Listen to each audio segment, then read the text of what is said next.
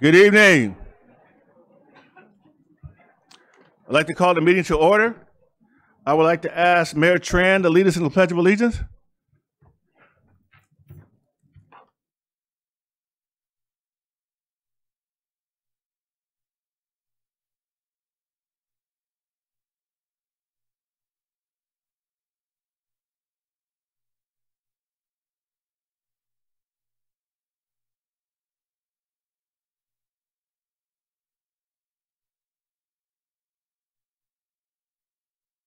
Thank you, Mary did a great job.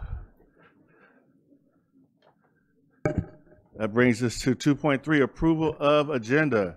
Are there any proposed changes? Items to be pulled? Seeing none, I'll entertain a motion. So move. Second. It's been moved and I have a second. Please vote. One second, please, Mr. President.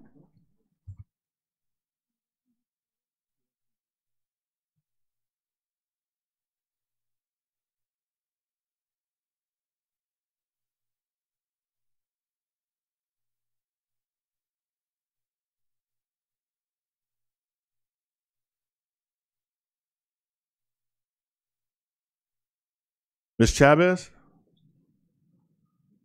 Aye. Ms. Nunez? Aye. I mean, sorry, Mr. Nunez, sorry about that. And Ms. Rosenblum? Aye.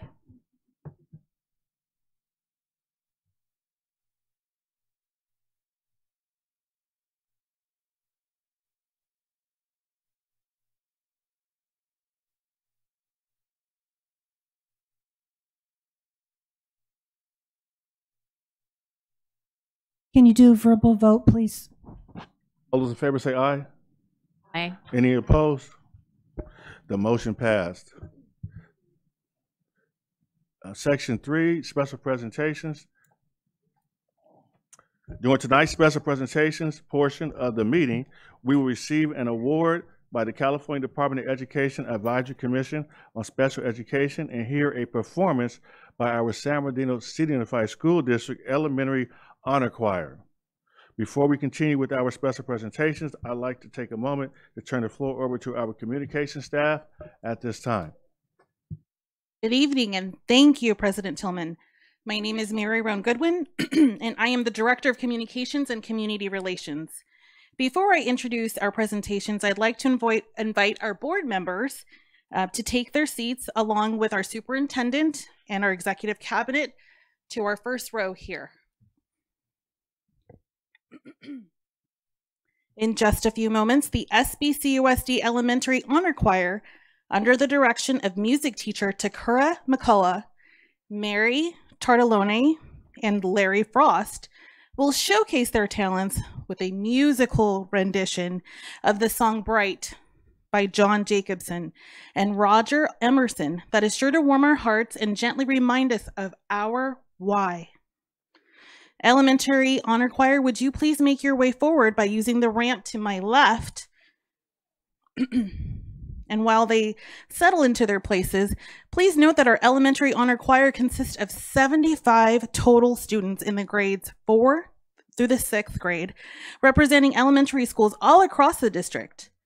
Once the choir brings their musical selection to a close this evening, they will remain in their places as our board members and superintendent make their way forward for a photo opportunity.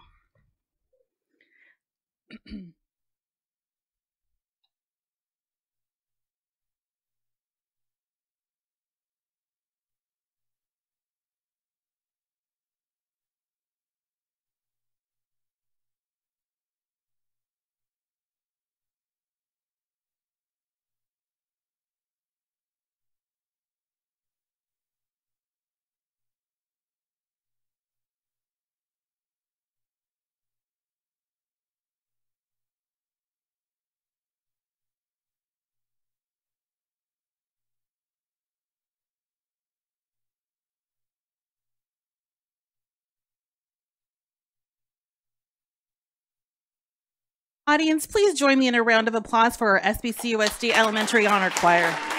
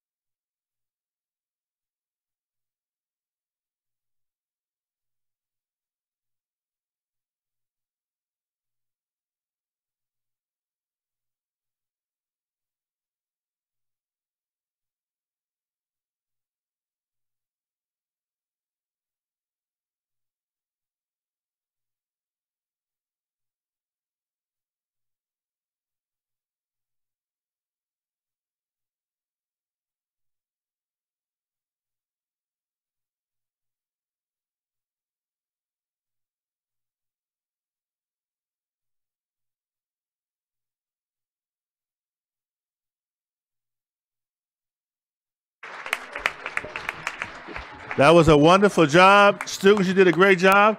Let's give another round of applause. Good job, guys. Good job. You guys are the best, right? And let's also give recognition and applause to the teacher, Ms. McCullough, for doing a great job. Wonderful.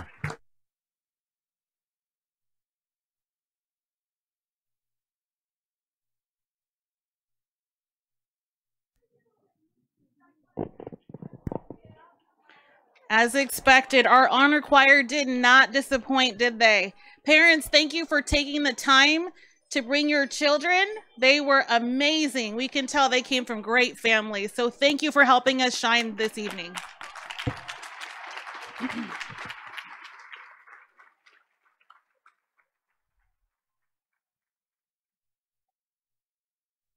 At this time, I have another amazing announcement. So we're going to invite our board to come down to the dais.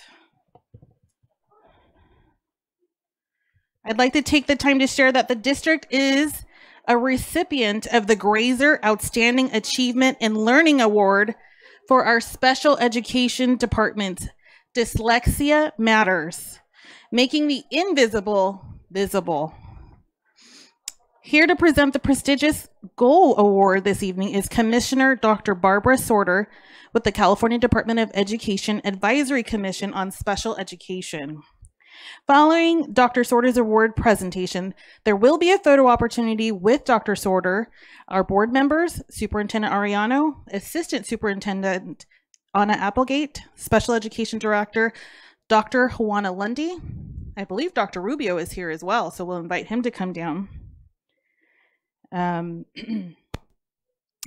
and then we do have some um, members of the Community Advisory Committee as well who will take part.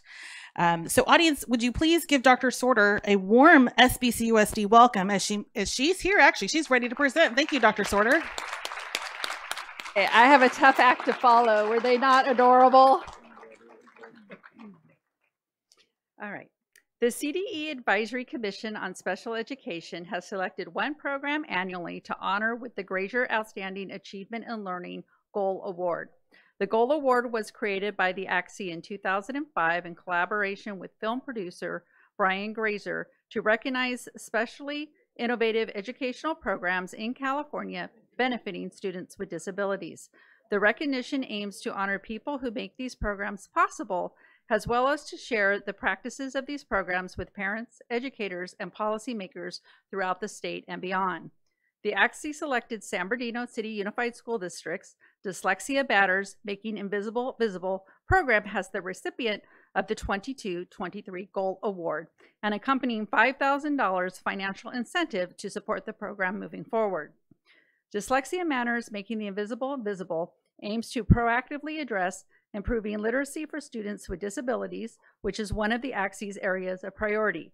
Dyslexia Matters is an innovating program that establishes a continuum of layered supports, especially in the areas of basic reading, to proactively identify students at risk and provide scientifically proven interventions and evidence-based practices for students identified with reading difficulties and dyslexia. The program is showing great success and working seamlessly within the community, uniting teachers, administrators, parents, and district, and other stakeholders around the shared goal of early identification and support to improve literacy outcomes for all students. On behalf of the Commission, thank you for your work.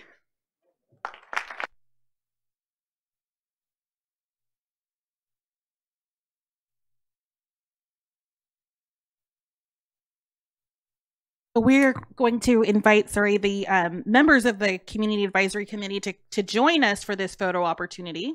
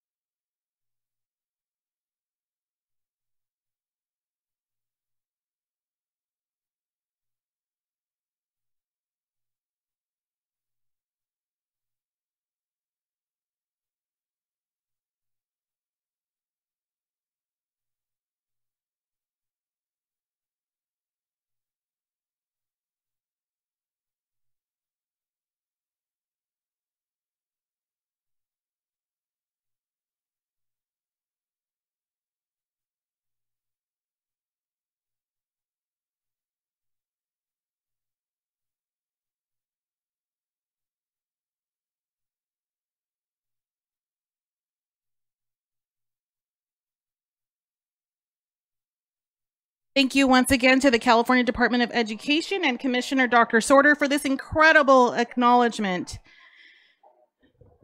Before moving forward, we will ask board members to return to their seats here at the dais.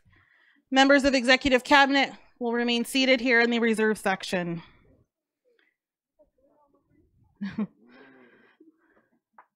this concludes the special presentations portion of tonight's meeting, and at this time, I will turn the floor over to Superintendent Mauricio Arellano.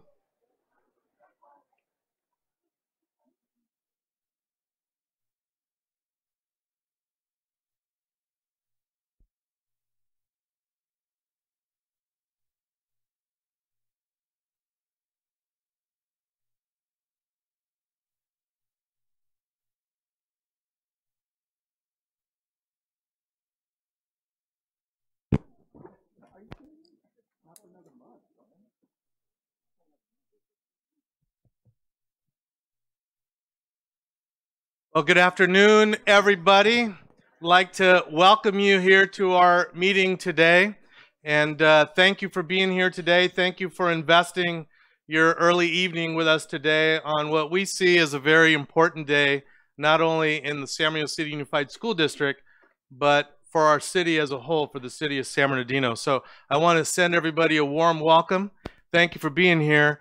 And I want you to know that it's a, a, a high honor for me tonight to present our multi-year vision that is going to guide our work between now and 2030. And tonight we will also be sharing with you uh, our operating values as a district that we will adopt and uh, work by uh, between now and 2030. And so hopefully what you have seen here today as you've walked in is our multi-year vision booklet, which is titled SBCUSD Shines 2030. And it has a purpose statement that reads, cultivating pride, purposeful futures for students to thrive right here. And what was important for me as superintendent was to create a vision that was easy to read, easy to remember, easy to repeat, easy for you to ambassador on behalf of the district, and more importantly, for everyone in our district of our fantastic staff to be able to see the impact to that vision every single day when we come to work. So I want to thank you for being part of this journey uh, that has brought us here today. And I want to talk a little bit about what that journey is.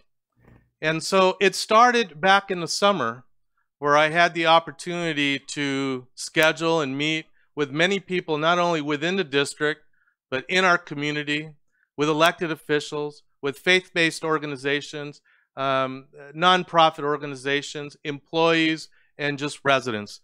It started with one-on-one meetings just to get a pulse. Then it continued on with superintendent forums, where the community had the opportunity to come and meet with me one-on-one and share their uh, concerns, their excitement, their vision for this district in person. Then we used uh, technology. We used ThoughtExchange, uh, a software uh, program that allowed anyone in the community, including 3,000 of our high school students. And throughout that whole time and using that software app, we asked three very simple questions. What's working that we have to keep? What do we have that needs a little polishing because we want to make it better? And what's missing? Three very simple questions is what led us here tonight. And part of that journey uh, not only included our students, as I mentioned, but it included our whole community. And that's what's important for us to recognize today that what we are sharing here today is not the superintendent's uh, vision per se, it's our vision together as a community. So during these last uh, seven or eight months, the board has had an opportunity to mold this vision. Uh, the cabinet has had the opportunity to mold this vision. And we also formed a community committee that helped us mold the version. And to be honest with you, they did the final molding of the product at the end. And uh, we will be recognizing those members of the community committee uh, shortly after the presentation. But I want you to know that this community committee was made up of recommendations from members of the Board of Education, recommendations that I uh, provided, and also a makeup of different folks within our organization. And what the plan was is to have a community committee that reflected not only our diversity that we should celebrate and honor, but also the different lenses in our community. We had people on the community that had parents that went through our system years ago. We had people on the committee that went through the school system. We had people in the community who have businesses here. We have members of the community that are part of our faith-based organization. We had members of the community who are part of our nonprofits. Uh, we had members of the uh, of the committee that were managers in our district that have been here for 20 years, some who have been here five years. So it was very intentional in having a committee uh, that represented the diversity and the makeup of our community and the lens, different lenses.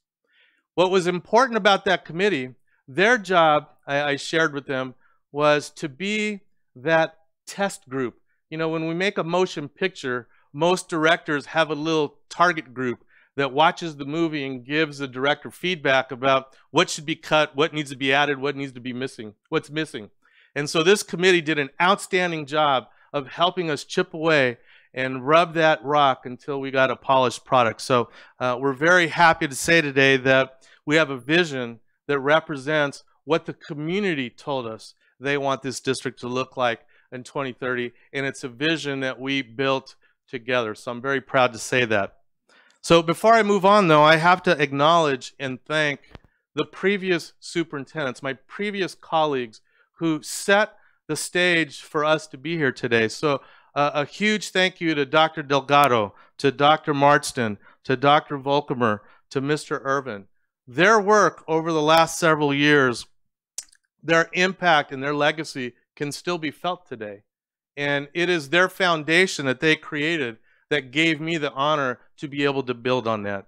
So I want to thank them for all of their leadership and their uh, work in the foundation that they've allowed me as a colleague to build on. So before I go any further, I also want to thank some many of our special guests that are here today that were invited. It was important for me to make sure that this wasn't just a school district event. This is about building our city. This is about not only elevating the school district, this is about elevating our entire city and working in partnership with Mayor Tran, uh, with the San Bernardino City Council, with Supervisor Joe Baca Jr., with Assemblyman James Ramos, State Representative Eloise Gomez Reyes, State Senator uh, Rosilicie Ochoa Bogh, who's a, a San Bernardino High School graduate, and U.S. Representative Pete Aguilar. Together, we are working to make this a better community, a better city, and that we have a future that people will be optimistic. So I say, let this vision, let this document be what bring us together as one, as one community, working together, working in harmony, and working in a positive manner. So before I go further, I would like to invite four of these special members that were on this uh, community committee to say a few words so that they can share their perspective of uh, how important this is not only to us, but as a community. So I will first invite uh, to this microphone here Pastor Joshua Beckley.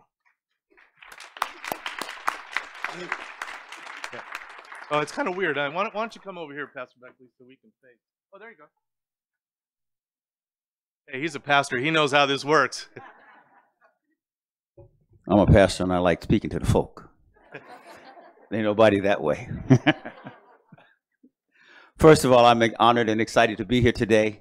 I'm also excited to be a part of the cohort that was involved in putting together this vision for 2030. Uh, I've been involved in this city for over 30 years, uh, involved in the district uh, with Adopt the School program. We host Hunt uh, graduation and work with Hunt Elementary, which is right across the street from our church for the last 20 or 30 years. We also host two after school programs uh, that we run through our church uh, for the district. We have been very much involved with wanting to see our children prosper and our children succeed in this district and doing our part to help the district do that. And then when I was invited to be a part of this cohort and to be a part of giving input into this vision, I, I was uh, wasn't sure what was what was what, what I was in for. I wasn't sure if this was going to be another one of those meetings where they're going to tell us what they were going to do and just get us to say yes, or were they going to give us opportunity to give input and be able to to shape what was being said? And what I really appreciate about this, we're allowed to give opportunity and to shape what was being said. When you read through this, and one of the things I like reading through this, I can see our input in this vision.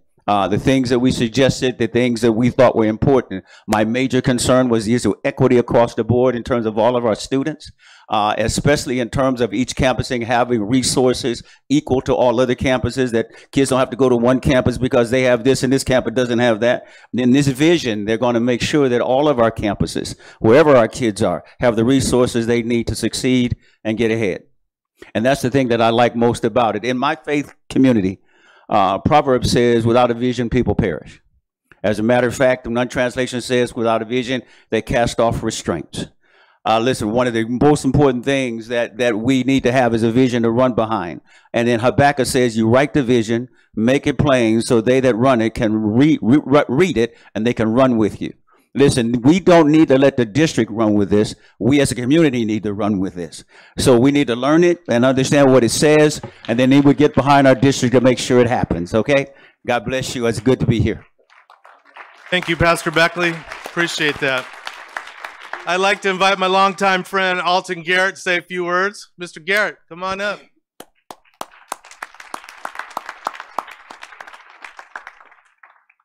I, am going to comply with the superintendent's desires. I'm going to say a few words and then I'm going to go sit down. No, in all honesty, uh, it was indeed my pleasure to be a part of this cohort. Also, um, you know, uh, following a, a, a pastor, following a politician, those are just the wrong things to have to do. You know? but in all honesty, I, I really enjoyed the opportunity to serve on this committee and uh, and to be there at, at each of these sessions and everything. And as the pastor Beckley said, what is in here is what the community said we wanted, and we would like to see the board approve and adopt at this at this time. And so that is why uh, it is so beholden upon us to make sure that we as the community stay with the with, with the district and work with the district and make sure that everything that we say in here that it gets done in, in Vision 2030. Thank you. Thank you, Mr. Garrett. I'd like to invite Rodolfina Gamino to come up and say a few words as well, our DLAC president and parent.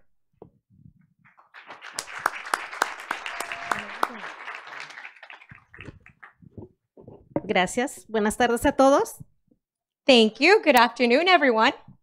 Bueno, en esta vez yo lo voy a decir en español, aunque me sale perfecto el inglés, no se crean, ¿eh? This time I'm going to say it in Spanish, even though I speak English quite perfect. Just kidding, just kidding. Buenas tardes, mi nombre es Rodolfina Gamino. Soy madre de cuatro hijos estudiantes del distrito de San Bernardino. Good afternoon. My name is Rodolfina Camino. I'm a parent of four children or students in the San Bernardino district. Para mí fue muy importante haber participado como comunidad y madre involucrada, ya que mis ideas son importantes como las de cualquier otro padre. For me, it was very important to be able to participate in this community as a parent, as a mother, and to be involved, now thinking that my ideas are equally important as everyone else's. Y que de este proyecto depende un futuro mejor, tanto para los estudiantes actuales así como para las nuevas generaciones. Y poder así que San Bernardino en verdad brille como un distrito que está atento a las necesidades educativas. Because of this project, it depends on the future to better the future for the students, the students that are currently there, and the future generations to be able to make San Bernardino shine bright in a district that is also tending to the needs of the parents. Por eso es muy importante que la comunidad se involucre para ser una sola fuerza y que este proyecto tenga mucho éxito. That's why it's extremely important that the community becomes involved in making the efforts to join this and so that this project can have success. Ya que este trabajo no es de una sola persona, tiene que ser como un rompecabezas, que cada persona haga su parte para lograr esta visión y todos estemos conectados en un solo objetivo. Because this program is not just a work of one person. It's like a puzzle. Every single person has to put their part to be able to acquire this mission. Y reconozcamos que la unidad hace la fuerza. And we need to recognize that unity does give us strength. Gracias. Thank you.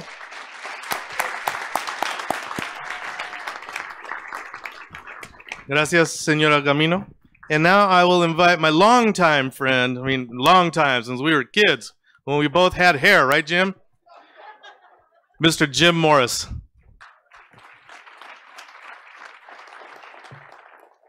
Yeah, it's a tough group to follow. Um, I'll try to be a few words like Alton. Um, it was a wonderful process. Uh, frankly, I think all of us would have liked to have extended it even uh, because it, it really felt, um, we felt heard, valued, um, and that we helped make a difference. Um, but I think that also brings up the fact that we have to own it as well, right? This is a vision for the community. And I think that's where, that's why we felt empowered, um, is that that invitation was really um, don't help us just think about the schools.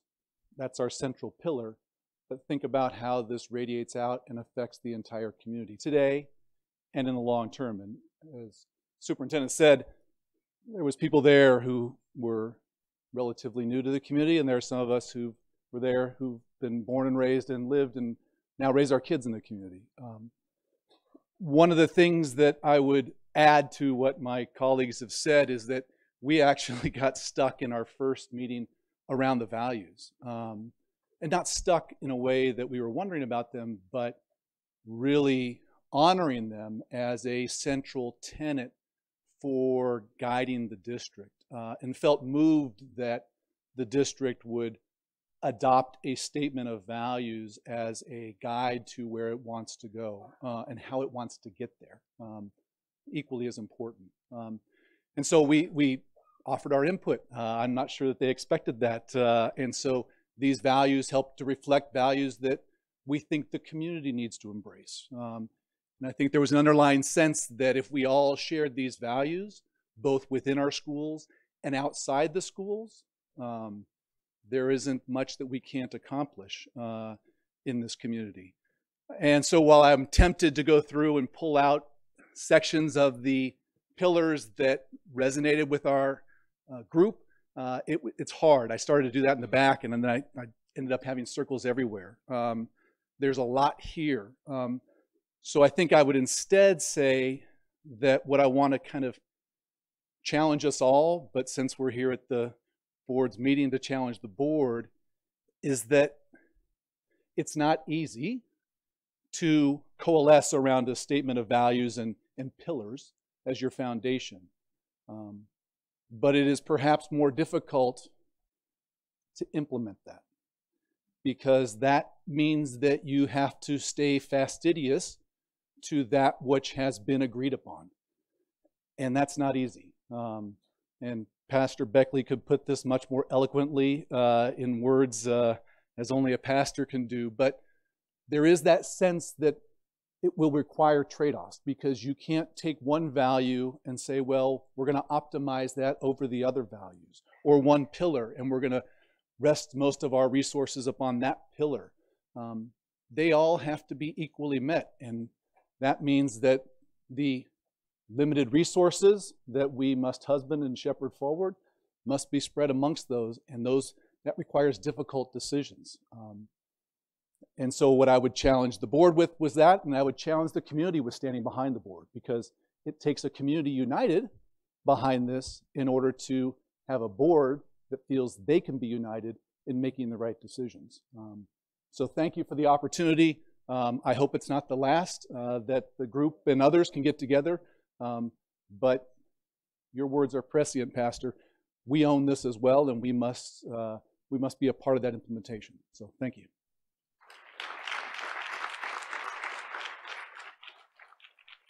Thank you, Mr. Morris. Appreciate it. All right, so let's get started. We're going to talk a little bit about what the core values are, and then my outstanding cabinet is going to help me walk us through the vision and talk about the main elements uh, that you expect us to be working on between now and 2030. So if I could have, thank you. So you'll see that we've started with some core values as a district, and I'm not going to go through each one of them because obviously you can have a copy, you can read, internalize it. But I want to point out two that were very important to us, uh, which was the very first one you'll see is human potential, and you'll see the last one that we wrote was about pride. Those were the only two that we intentionally placed on the document. The other ones in between are important, but don't have any particular order. So let me start with human potential. It was important for us to make that our primary uh, operating value because we have to believe that every kid is brilliant. Every single child in our district is brilliant, and it's our job to find it. And we need to make sure that we are very clear in our community and outside our community that zip code is not going to dictate student achievement.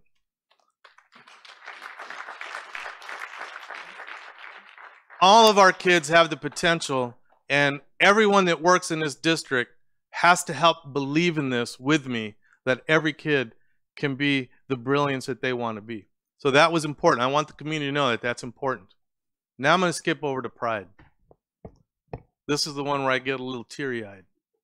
So I left in 2002. I left San Bernardino 2002 uh, to work in uh, two other districts since my return.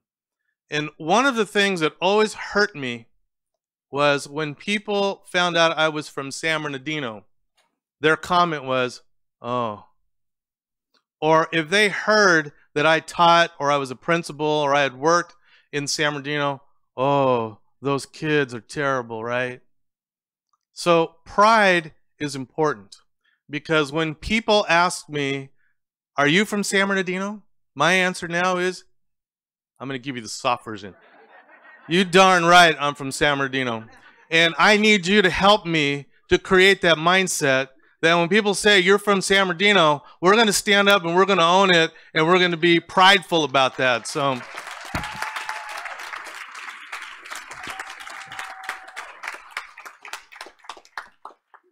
The other thing that I want to touch on on this operating values before I move on to the main document is I want to focus your attention on the section that says equity.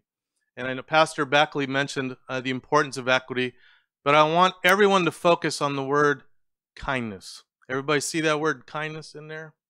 You know, in an environment where it's easy to point fingers these days, in an environment when it's easy to call people names, when an environment where it's easy to divide us and say you're that and we're this and you don't belong here and you don't belong that's easy it's harder to be kind.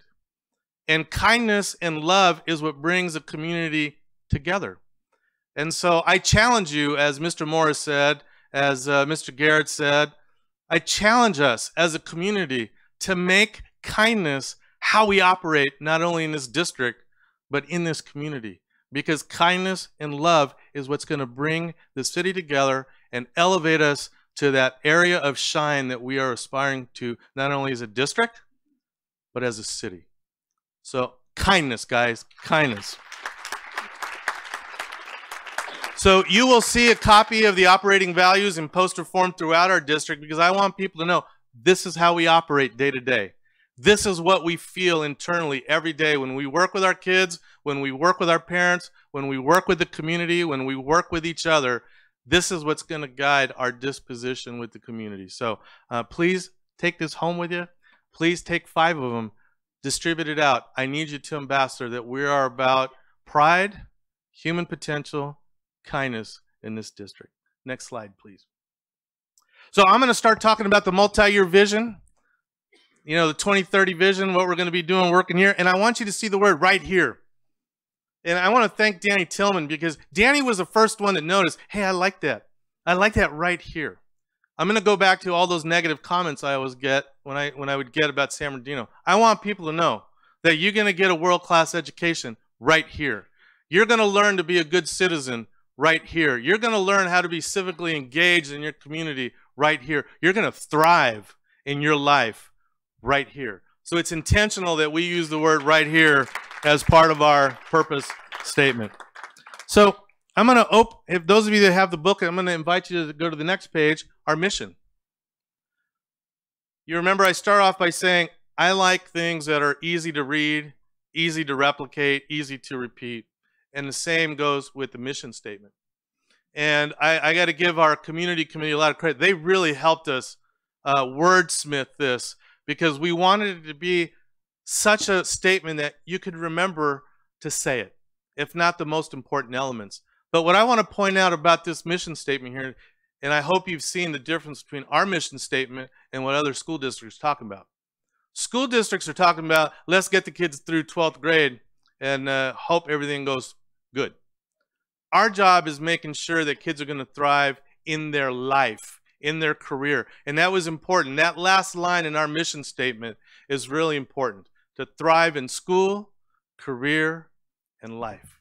And so I want us to remember those three lines when you're out in the community and people ask you, what is San Bernardino working towards to make sure our kids thrive? Why is that important? If our kids thrive, our community thrives, our economy thrives, our, our way of life in San Bernardino thrives uh, because we are preparing people to be involved and be productive. So uh, if all else, please remember the last three lines. And I'm going to give my good friend Ray Culberson credit because he said at one point, you know, you need a strong word in there. And so determination was the word that we put in there. Uh, so Ray, whenever time you see the word determination, I want you to know that was a Culberson uh, impact there. So. Now I'm going to talk about the six pillars. Next slide, please. Again, our community committee and the board did such a great job really uh, hashing these uh, statements out. The word shines came from all the feedback from our community, but they used the word brilliant and brilliance and how we have brilliance and we need to work towards brilliance. But it was really hard to come up with an acronym for brilliance. So we uh, looked uh, at synonyms and we used shines. And that's how we got to the word shine. SBCUSD shines. And that is a hashtag that we will be using. But we decided on six pillar statements. What are these six pillar statements? Where did they come from? They came from the community. You will probably recognize a lot of this because it was embedded in Mr. Irvin's work. It was embedded in Mr. Marsden's work. It was embedded in Dr. Delgado's work. So we are building on the legacies of everyone before us, and we're building on the legacy that you hope you guys created, your own, yourself. I just have the honor of coming in and building on it with you together. But you see, these are the six pillar statements that we're going to be working towards 2030.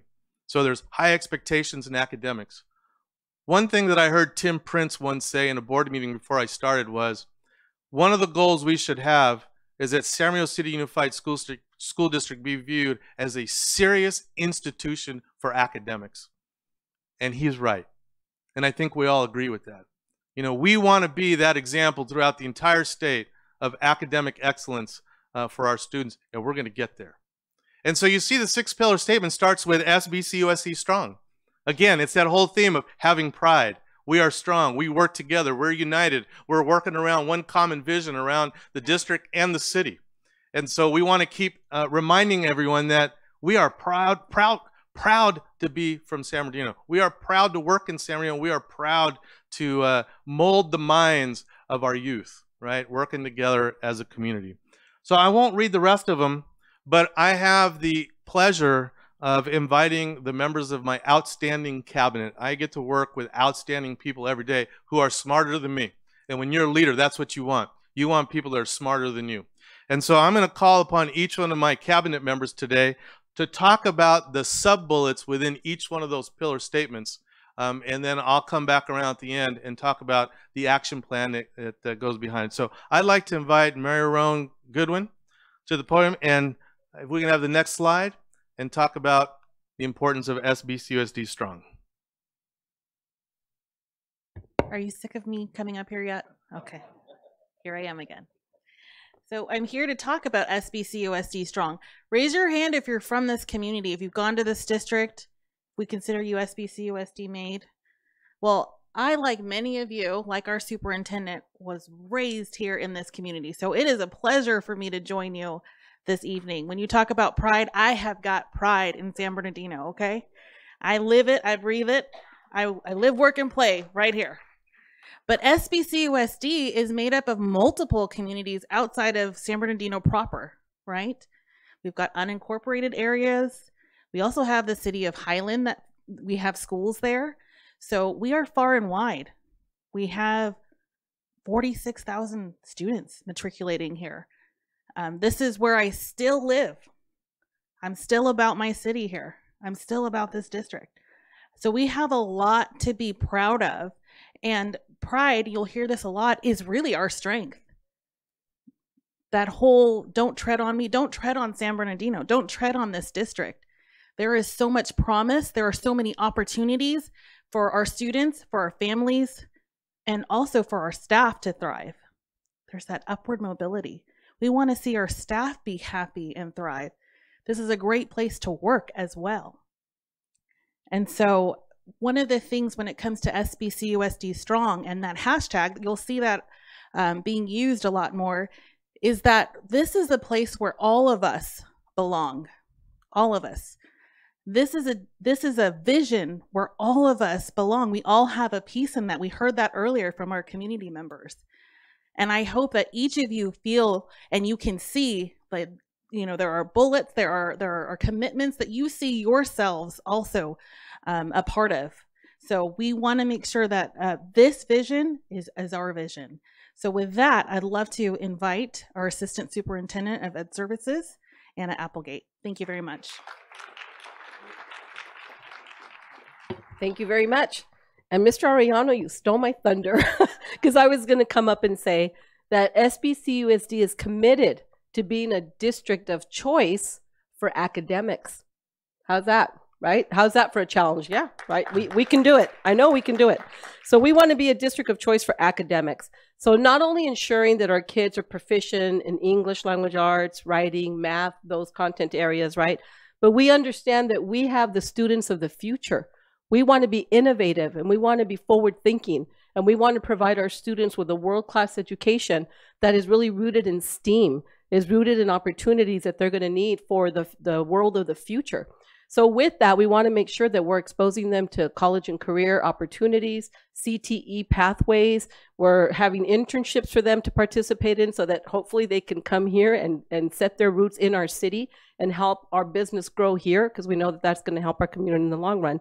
So we're very excited to have different opportunities for our students that will propel them into the future and they can be successful and competitive with that. And along with that, we also are very conscious that all of our students are at different levels of learning. So we want to implement a very robust, very rigorous multi-tiered system of support. Three tiers of support for our students so that all of our students have tier one, their, their great education that we're providing. But then on top of that, it's additive with every tier, we're providing more support for students who need it. So we want to make sure that we're, we're meeting all of our diverse student needs and propelling them to a future that they can all be proud of so that they can all hopefully remain here and help our city grow and come back. So thank you. And with that, I will hand it over to my colleague, Dr. Sandra Rodriguez, Assistant Superintendent of Student Services. Thank you, Mrs. Applegate. So I'm one of those that um, never left. So I am a product of San Bernardino and continue to work in San Bernardino. I'm a Cardinal and a Cowboy. So I'm very, very proud about that. And my career here in San Bernardino has spanned over 30 years. And so I've been um, very proud of the commitments that have been made. I live in San Bernardino. In fact, Mr. Tillman's my neighbor not really, but we live in the same area. Um, but uh, you know, it's it's a great place. And so um, when Mr. Arellano came to the district, you know, he got to see lots of the things that were happening in the district. And one of the things I can remember is we invited him to our parent president luncheon. And so our parent president luncheon is where we have the leads of all of our parent groups from DLAC, our uh, DAAAC, DAC, CAC, all of those leads, and together they meet to be the voice of their respective groups. And he said, "Wow, I've never seen that before. I've never I've never been a part of that." And what was so powerful was that those well, from those four committees, we had two representatives from each, had a lot of power. And the power was the agency that they had. They felt heard, they felt that they mattered, and they felt and they knew that the impact that they made and the things that they said and brought to our attention were going to be addressed and we're going that there will be action and so great things are coming out of that and so when we talk about the involvement of of our groups and we see uh, mr baca's here and joined us and he's wearing our slack uh, sweatshirt that is our student leadership like you came right on cue um, and so it speaks to the involvement of all of our partners, everybody that's part of our district. That is our strength. When we talk about what it is, you know, people can talk about, we can talk about each other, but no one can talk about us, right? And so um, it, it is what it is. That's the way, that's the code. And so, um, you know, that that is that is a point of strength, and it is a point of um, of pride. And so this particular pillar is really speaking to that. And you heard from our community members the strength and also the ownership that they have in making this community better. And so with this, our commitments are that we will continue to work side by side with two-way communication, not one way communication, but that we are present and that we are listening and that we have dialogues, that we're working together to be able to provide a better opportunity for our kids. And so, with our through our community schools projects, through our before and after school programs, our community schools, there's so many wonderful programs that we're able to meet the needs of our community. Our schools exist to create opportunities for our students and our families and the businesses. And so we look forward to continuing that work. And as you can see here, we're committed to that collaboration and we're committed to seeing things through. So whether you're a baby, and I saw a couple that I recruited for uh, Miss Latasha, you know, if you're a baby, we have a place for you. If you're 99 years old, we have a place for you. In this school district, there is a place for everyone. And if you have a business in this community, there's a place for you too. And so when we all work together, the community is stronger. And partners like Santa Claus Incorporated, um, our, our uh, faith-based organizations, all of us together can make that difference. And when we think about synergy and we talk about the lift that we need to make, with many hands makes light work. And this pillar speaks to that. At this time, I'd like to introduce um, my colleague, Associate Superintendent of Business Services, Mr. Terry Komnick.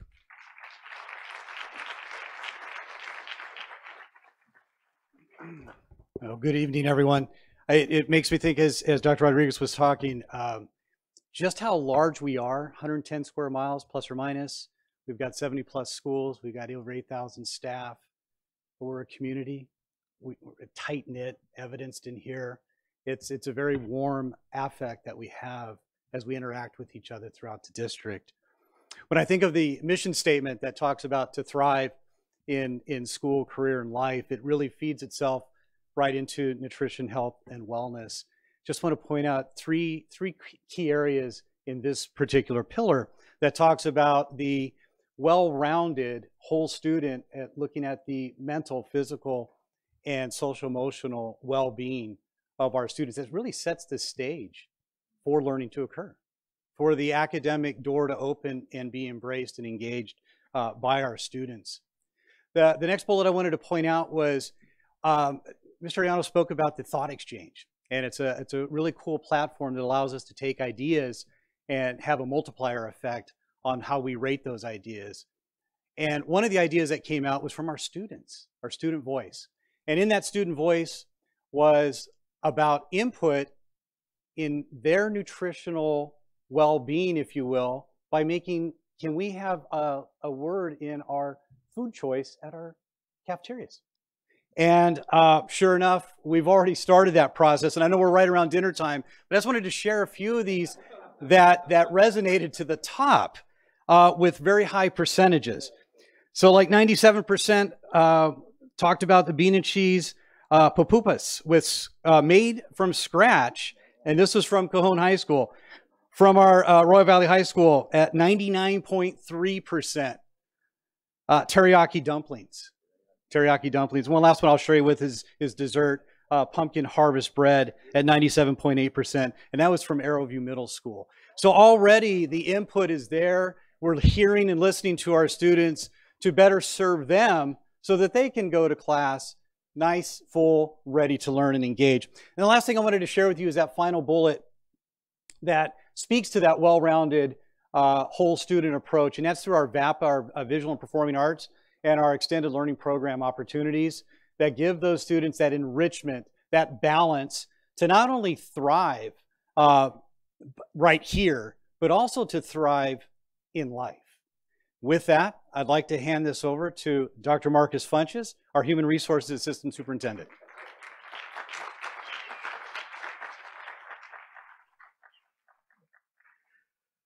Good evening. I, I was reflecting the other day. I, I, I got a chance to see a picture of me back when I came into the district in 1998. And what struck me about that picture at 25 years old, I still look like that. In all seriousness, I, I I've been here for 26 years. And one of the reasons that I stayed here is because this district is not afraid to take on the tough issues. We've never been afraid to say what we needed to say and do what we needed to do. When some districts went right, we were going left. And so I have the honor of talking real briefly about equity as a foundation. And throughout this 2030 vision document, what you'll see is the phrase all students shall, or all students. You'll see that time and time again. And you'll see it over and over. And that's what equity is about. Equity is about ensuring that all of our scholars, all of our students receive what they need to develop their full academic and social potential. That's what Mr. Arellano talked about in terms of life. And our board, our board has been an advocate for equity even before it became a popular term. The tip policy that's located within that equity pillar is something that our board put together way before its time. I want to give them a round of applause for that. But it's our intent to continue this bold and courageous work. And I'm going to involve you real quick. So, through our Vision 2030, we will set and meet, not only set, but meet the ambitious goals for developing transformative systems that do the following. And when I point to you, I would love for you to say the word equity with me because that's a vocabulary word that you should take home uh, with this pillar. Okay. So, I just a little bit of a call back. When I point to you, you say the word equity. So we're we're putting together transformative systems that do the following. So listen carefully. Provide the necessary funding and resources that our individual schools need based on their own contexts. That's right. And the last one, we're going to say it a little bit more uh, feeling, a little bit more. Staff training that not only targets assumptions and biases, but provides the tools necessary for culturally proficient teaching and learning. And then finally, we're going to say this one with some feeling. We're building welcoming school environments where students excel because, not in spite of, but because their cultural backgrounds and identities are affirmed. Equity. What'd you say? Equity. And that's what equity is all about. I want to bring to uh, the podium at this time a friend and colleague, Mr. Chief Paulino.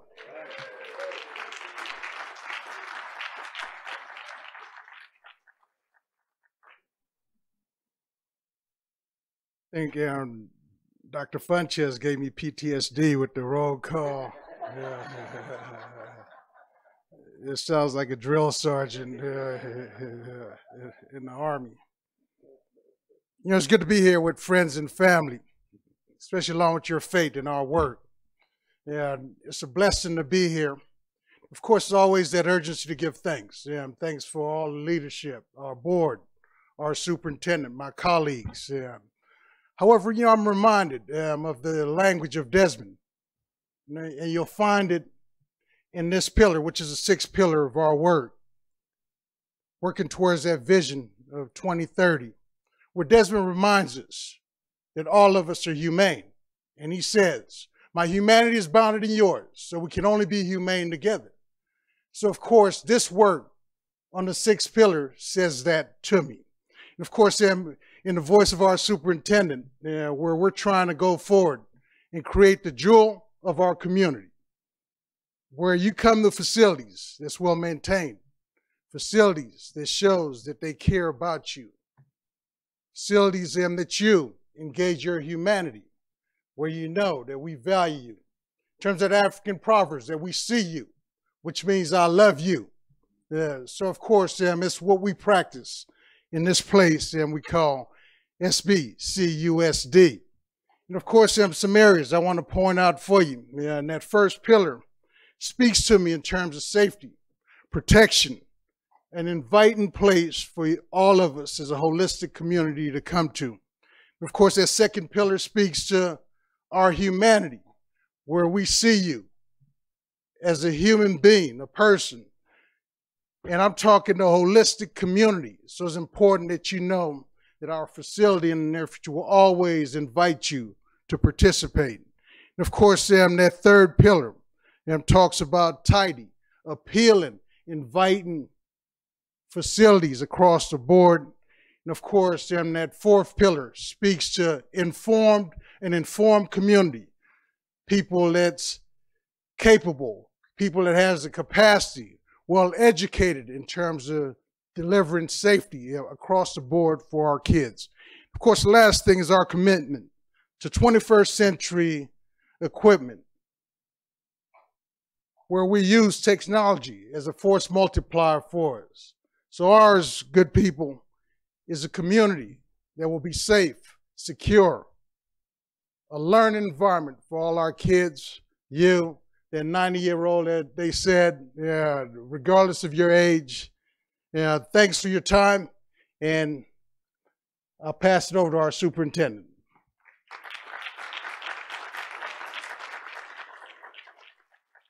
So, ladies and gentlemen, in conclusion of sharing this with our community, um, I'm asking you now to go out and be our ambassadors. This document will be flooded in our community because it's important for everyone to know what our district is committed to, what we're working towards. So starting today, assuming the board approves it, I think they will. They, they wrote half of it, so. This document will be sent out to all parents, all employees. We're going to send them to all libraries. We're going to send them to all coffee shops. We're going to send them to realtors. We're going to send them to our university partners, our business partners. We want this to be on the counters of everything that happens in San Bernardino so that people are clear about what we're working on. And I need you to help me, Ambassador, which brings me back to my opening statement. Easy to read, easy to repeat, easy to see our impact day to day. So I want to say to all of you, thank you for your input. Thank you for being here today. The cabinet's work now is to create the action plan that stands behind us. The who, the what, what is the metric, what is responsible, who is responsible, how often do we uh, check on ourselves so that the board can hold me accountable and I can hold cabinet accountable and cabinet can hold our principals accountable and we hold each other accountable as a community. So you will be seeing reports in the future about our progress towards this 2030 vision. So uh, I want to thank the Board of Education for all the support that you have given me since I, my return, the support that you've given my outstanding cabinet, the support of the people that are behind you that work for us every day in our school sites. Um, thank you, Board, for that support, and we hope that tonight uh, you will uh, vote in the affirmative and support this multi-year vision and let this guide our work till 2030. And now I'll pass it over to Mary Rome because we are going to recognize and thank those wonderful folks from our community uh, for their good work and the continued work that we're going to do moving forward. Thank you, everybody. Appreciate your time.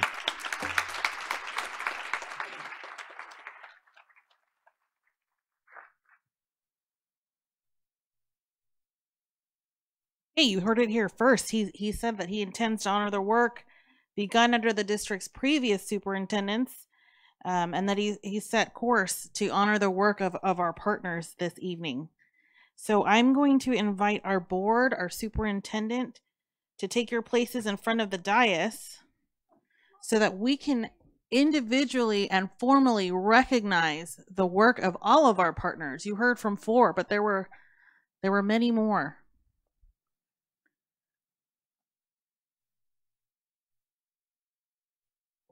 Partners, as I call your name, would you please come forward, accessing the ramp here. We're going to invite our, our executive cabinet to take their places along the ramp.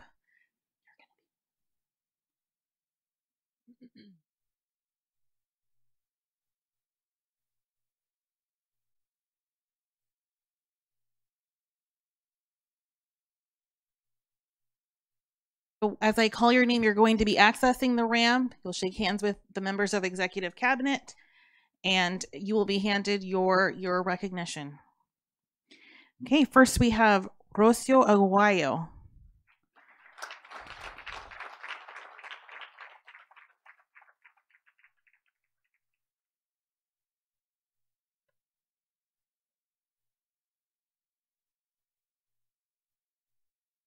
Rocio, once you get to um, Myra, Myra, raise your hand. You're going to take a pause right there for a photo opportunity. Okay, Rocio? And then you can continue shaking hands. Let's do your photo op right there. There we go. Ready? Look to Karina. Smile. Three. Thank you very much. Let's welcome Dr. Gregory Alexander.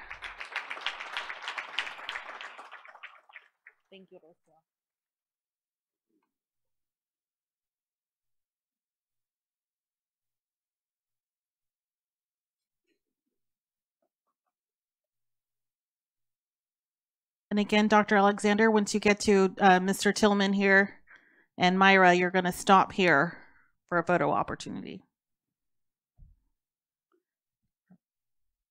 Right about there, Dr. Alexander. Let's stop for a photo op and then you can continue shaking hands.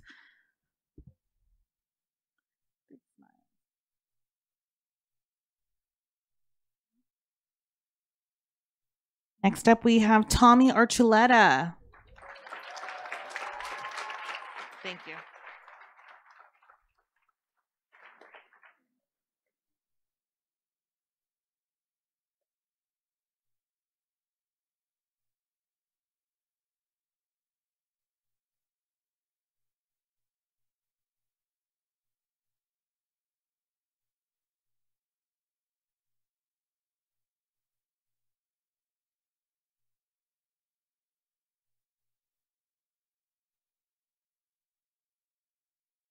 You. Up next is Kathy Atencio. You.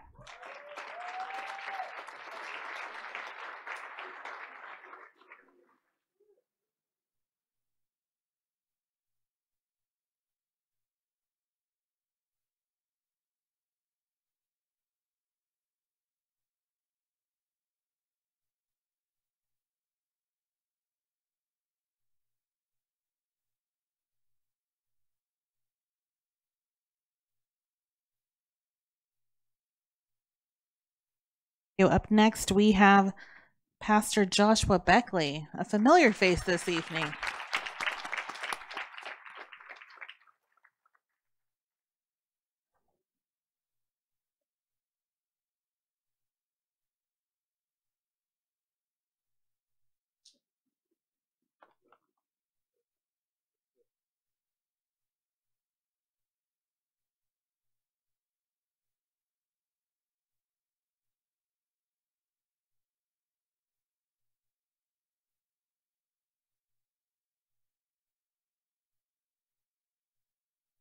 Thank you. Up next, we have Laura Cardenas. Oh. She was she was not able to join us this evening, but we thank her for her contributions. Up next, we have Mr. Ray Culberson.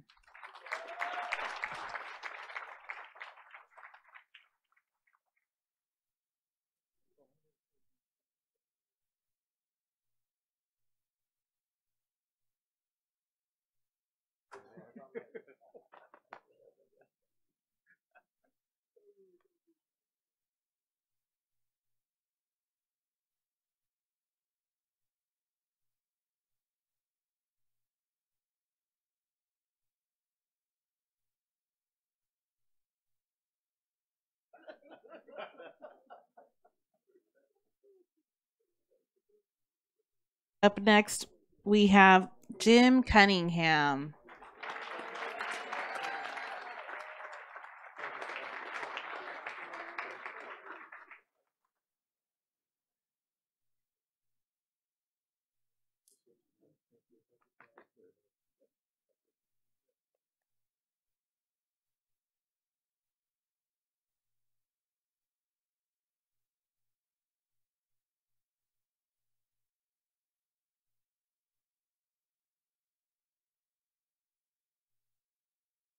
Excellent. Next, we have Senora Rodolfina Gamino. Welcome. Thank you. You got it.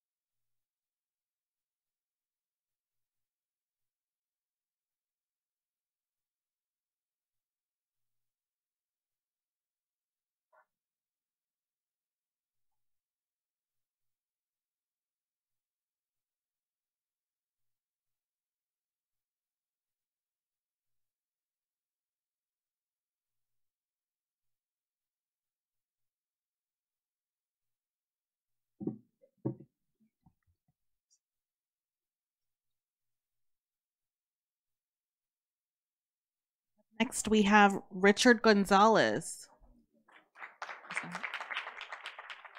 Is he not here? Okay. Okay. Dr. Keisha Handy still here?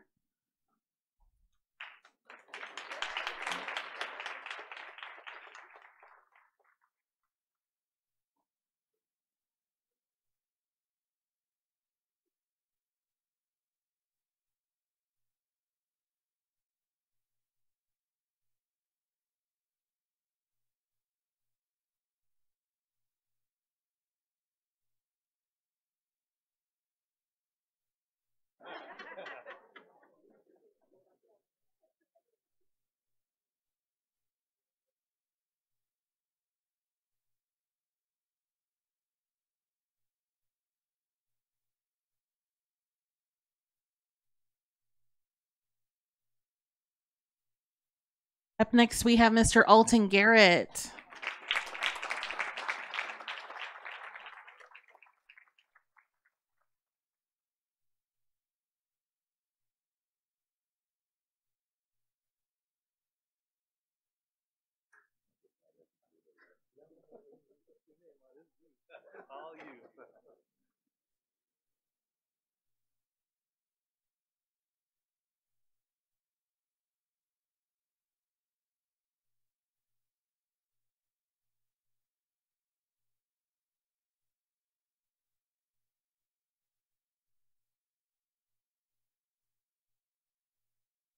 Up next is Teresa Hunter.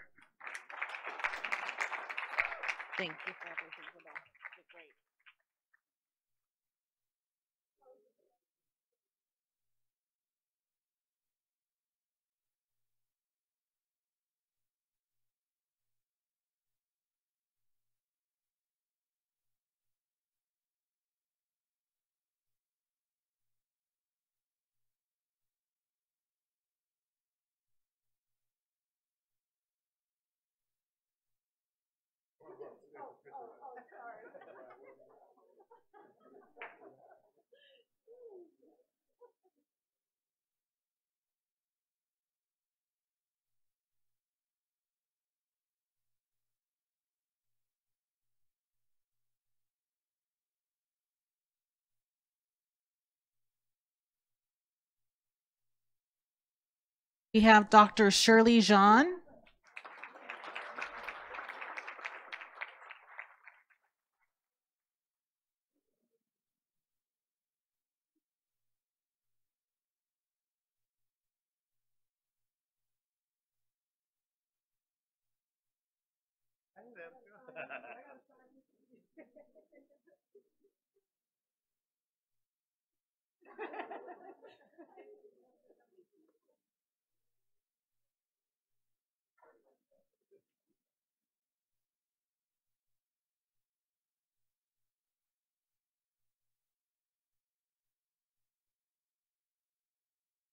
Jim Morris.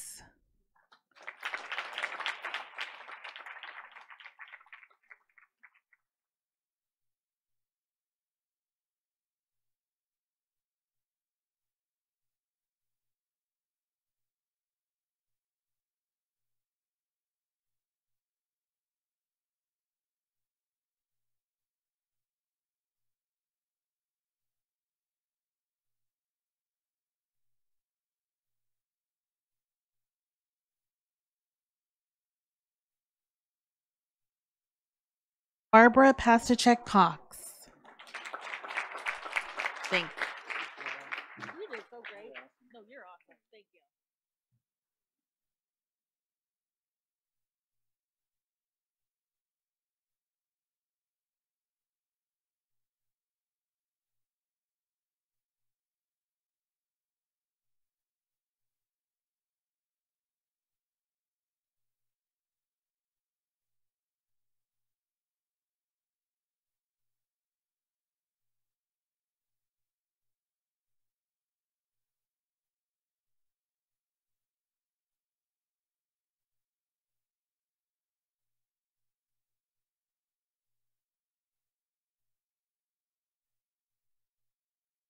Dr. Natalie Raimundo.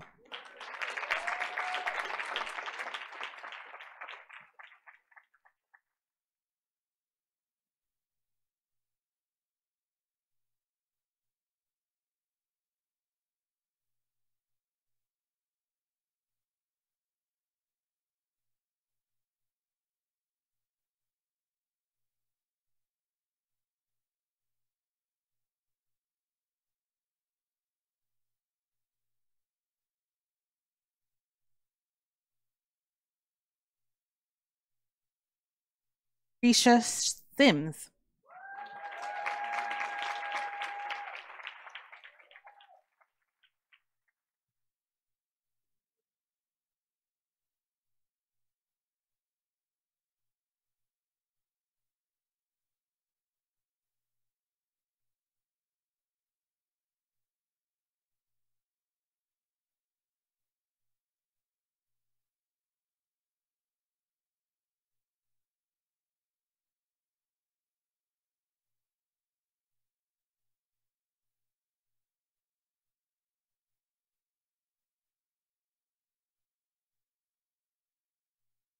And our last recognition this evening, but certainly not least, is Eric Vatier.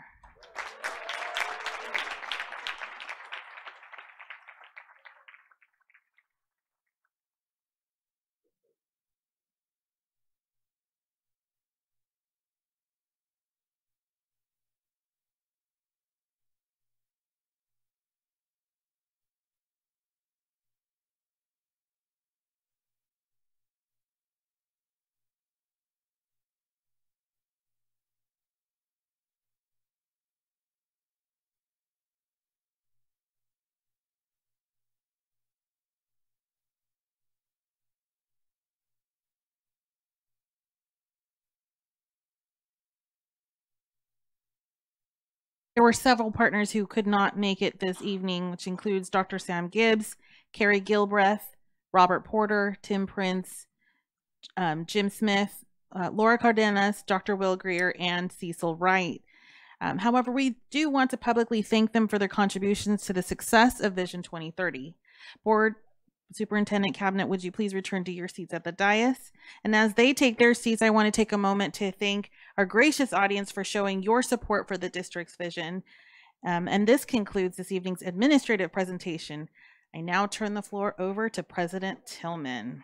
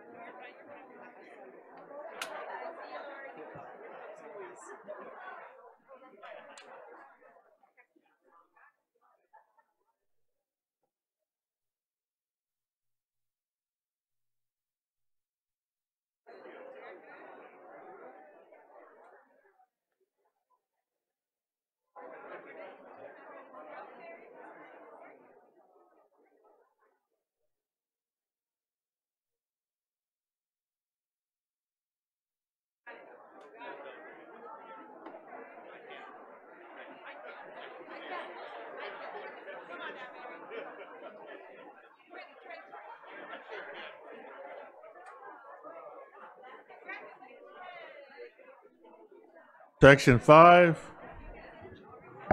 five point one, public comments. Receive public comments.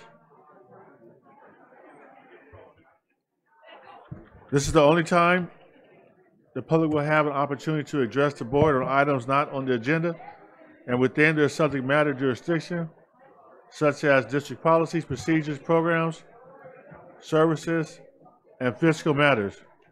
Public comments are limited to five minutes per person. Six or more people who wish to speak on one topic will be provided no more than 30 minutes total. Speakers are cautioned that under California law, no person is immune from liability for making intentionally false or defamatory comments regarding any person simply because these comments are made at a public meeting. And our first public comment is from Supervisor Joe Baca Jr.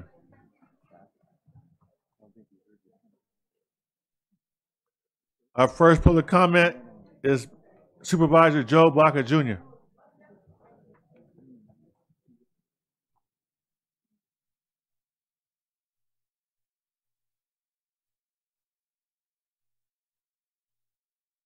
Thank you, Honorable President, Board Member, Superintendent, Cabinet, and community members. It uh, gives me great pleasure to be here for a, a presentation. And uh, one of the things that's very, very important to keep in mind, I, you know, when you talk about facilities for school districts, how difficult it is to to find money to produce districts. Usually, you have to do it through a bond, which is very, very difficult. Sometimes you have to get the voters of the community to do it. But the great opportunity that we had through the American Rescue Plan Act in the uh, county of San Bernardino, we received $432.5 million. As a result, each one of the Board of Supervisors received some discretionary money. And with that, I've had the opportunity to make several contributions to this school district. And I really want to thank my colleagues on the County Board of Supervisors for giving me that opportunity. And some people say, Joe, you know, why are you making investments in school? Well, schools are an important part of our community. You know, they're a pillar for our children. As you went through your previous presentation, you talked about all the different pillars and what it means to our kids and our families. And for me, you know, I know that there are many of those in this community that are disadvantaged. And this is an opportunity to make an investment. I just want to share some of the previous investments that we've made in this district. One, we invested $1.5 million into Indian Springs for the Wellness Center. We know that many of our children are suffering uh, greatly, especially as we look at going from the internet era to social media to um, you know phones. Things have changed, and this is a great investment to really try to get our kids the help they need at the Indian Springs and in that community. The other investment we made is uh, in the Muscoy community, a little over $2 million to improve school facilities, outdoor facilities, and that's been a great investment. The other investment we made, just a little over a million dollars for Pakuma Middle School to add lighting, which was in demand by the district. The community was asking for it. Uh, there was a survey that was done, and it was a high priority for them. We were able to make that investment. Today, we're making an investment at Arrowhead Elementary School. So item 10.7 on your agenda, uh, we're here on behalf of the County of San Bernardino and the Board of Supervisors to, you know, present 1.3 million dollars for the uh, to the county or San Bernardino City Unified School District to improve the playgrounds, to make some playground improvements, but also to forge a partnership that hopefully in the future uh, will forge a greater partnership between the County of San Bernardino and the San Bernardino City Unified School District. And me as a former educator, you know, I just renewed my teaching credential.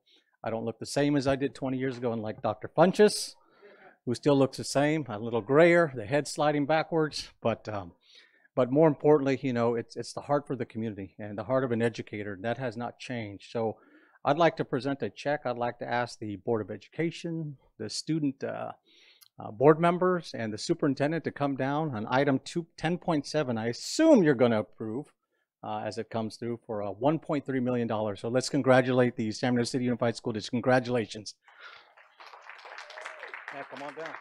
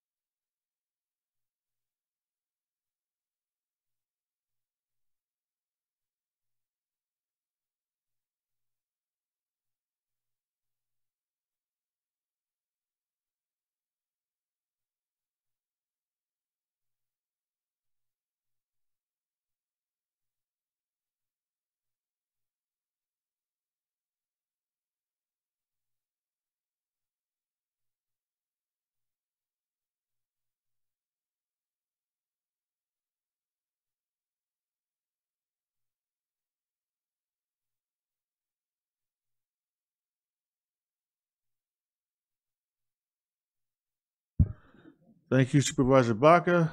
Next, Ms. Megan Owens.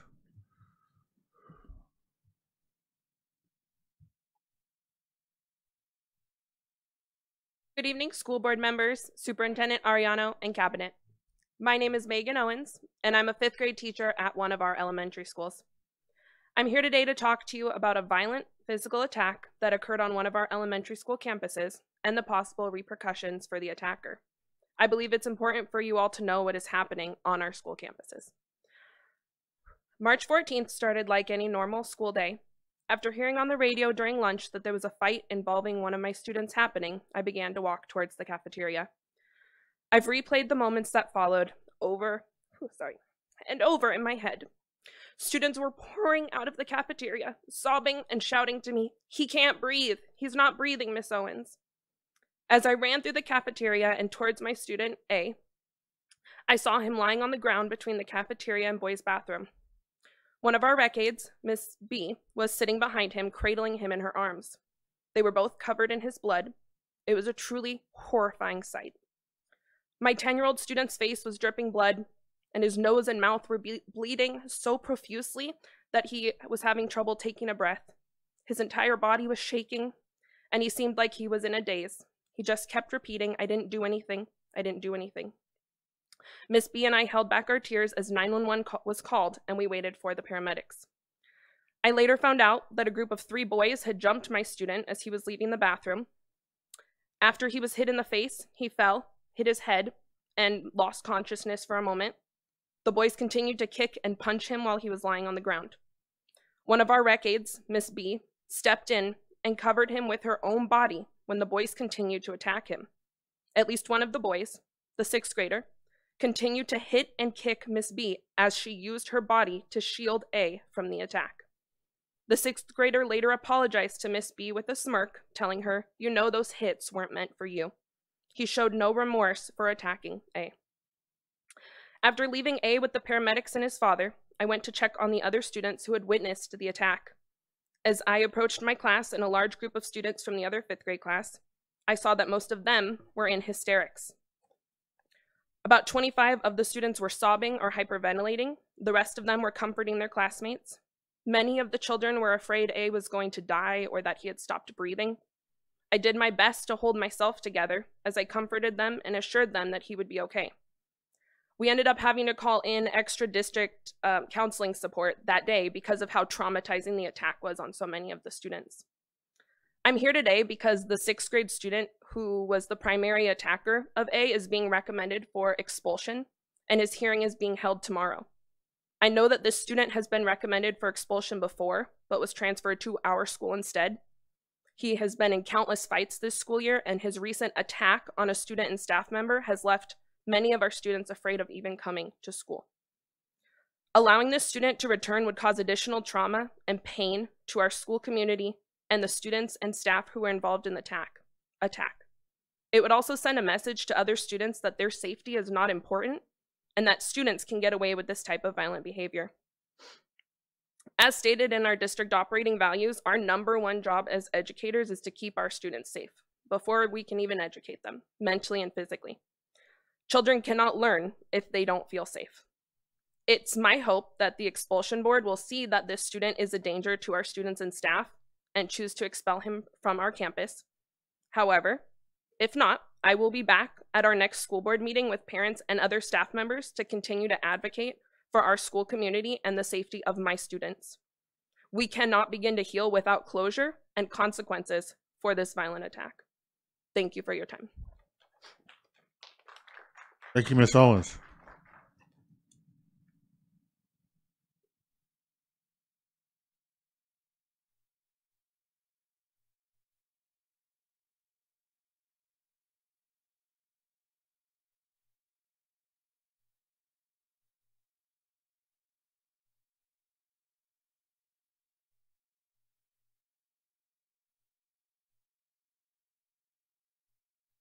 Can't read your last name, but I believe your first name is Miss Jenny.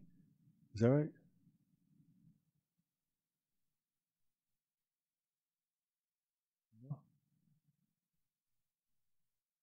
Last name is NC.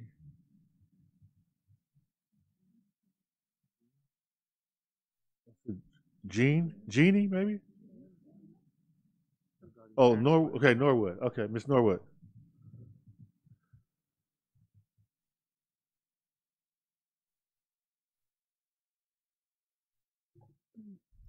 Um, so I I wanted to uh, talk about the parent square because um, some of the people that I work with, and then I have a brother whose kids also are in the school district.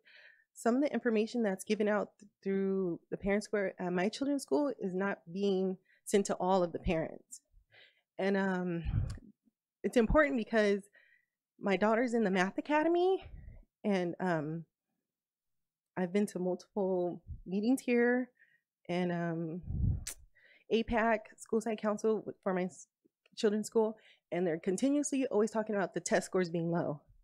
So if it's something that's, I guess to me, detrimental that the kids can um, benefit from, it should be sent to all the school districts. So one of my coworkers, she told me like, what can she do to have the school put that information out? So I told her, call the school, start there. N- nothing was done. I reached out to the superintendent, the vice superintendent by phone. it's almost like I was vetted to even talk to anyone, first of all. So I said, okay, I'm going to email. Sorry, I'm just sh- shooken up by her story. so I sent the email, no response. So as a parent, it's just like it's like you're not being heard. And it's almost like no one cares. But it, the education is important, but I'm sorry, what she was talking about, it's like I've been to multiple meetings now, and it's like every time I come here, somebody's talking about the kids being hurt. Like, this is crazy. This is, I don't know. But my concern was the parent square, but the safety of the kids is like, I guess I'll be back next week to address that too. Because, like I said, when I try to reach out, I'm not getting a response, no matter who I try to talk to. And I don't understand why. Well, I can guarantee, Ms. Norwood, someone will uh, contact you. We have your phone number here, and we'll get back to you, okay? Thank you.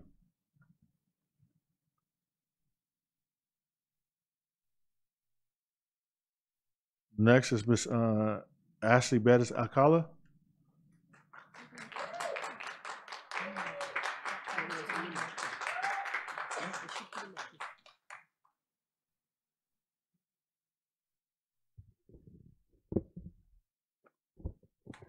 Good evening, President Tillman, Vice President Ceballos, Superintendent Arellano, members of Board and Cabinet. I'm Ashley Bettis Alcala, President of the San Bernardino Teachers Association, and I'm speaking to you tonight on behalf of our 3,000 members. As we approach National School Library Day on April 4th, this Thursday, it's imperative that we recognize the immense dedication and service of our teacher librarians. These educators go beyond mere custodians of books. They are pivotal in guiding our children through the vast oceans of information, be it through texts, digital resources, or technology. Their commitment not only enriches the educational landscape, but it also ensures that our students are equipped with the knowledge and resources to thrive in an ever evolving world. And we want to thank them for their hard work and dedication to our students and the education profession. And it's important to note that we have been able to keep teacher librarians in our district in times when other districts have cut them. So thank you for the board and the district for your commitment to keeping those positions.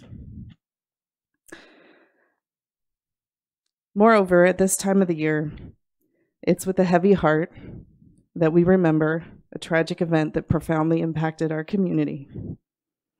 Seven years ago, on April 10th, the North Park community was struck by an unimaginable tragedy that claimed the lives of two of our cherished members of the community.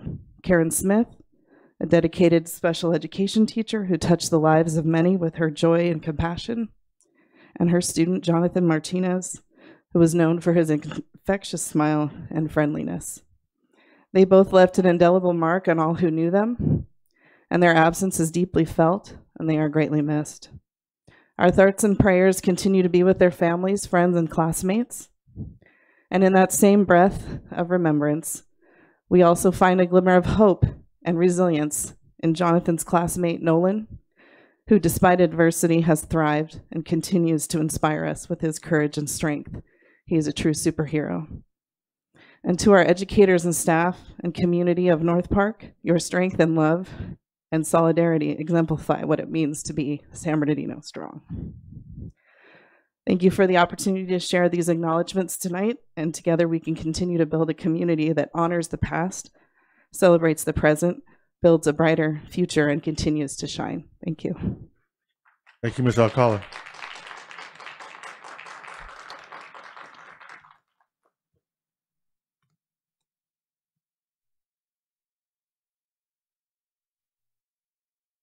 This is Miss Maria Carmen Gonzalez.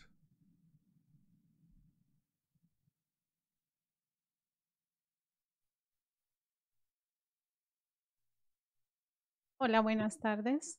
Let me get the interpreter. One second, please.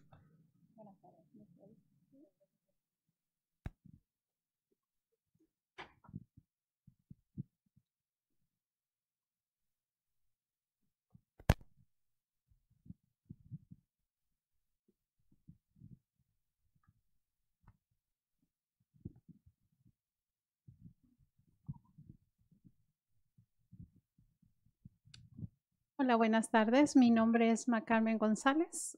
Hello, good afternoon. My name is Macarmen Gonzalez. Estoy con la Colectiva Popular para la Justicia Ambiental. I am with the Collective for uh, Environmental Justice. Hace un rato cuando yo entré por aquí, am, mi pecho se comprimió porque hace algunos ayeres, no digo cuántos, eh, fui una madre activa aquí en este distrito y sigo siendo activa, aunque ya mi hijo ya, ya de niño no tiene nada. So, a little while ago when I walked in, my chest just compressed a bit because I used to be an active parent. I'm still an active parent, but my son now, he's no longer a child.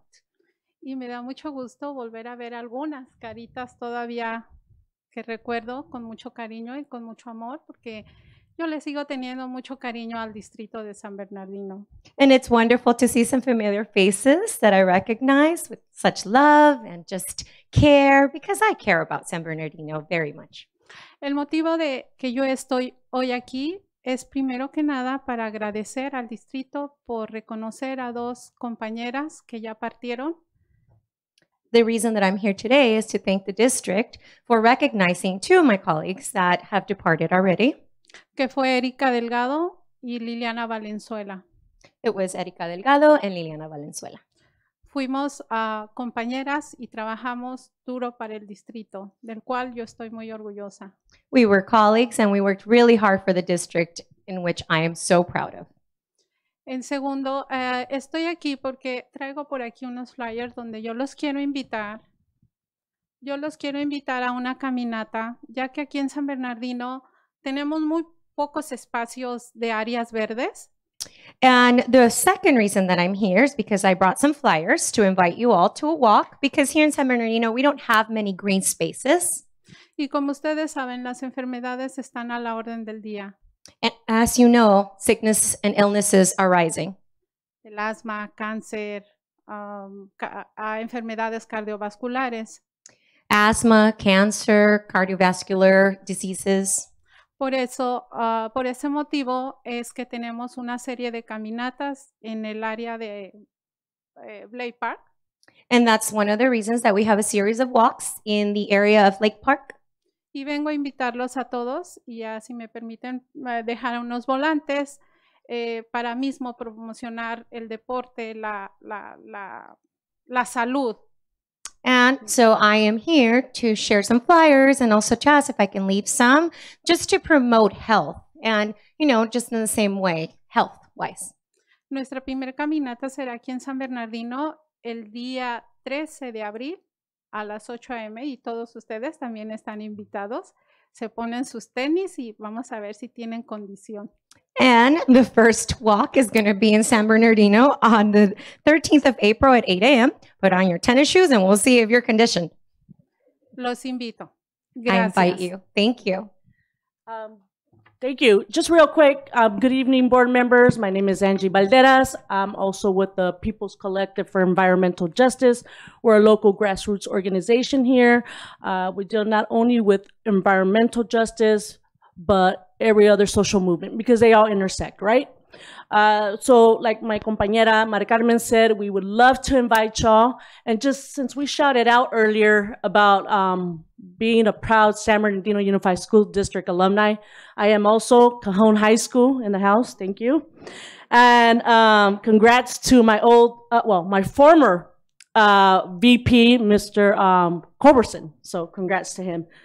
And um, yes, like my compañera Mari Carmen said, we would love for y'all to join us April 13th at Blair Park.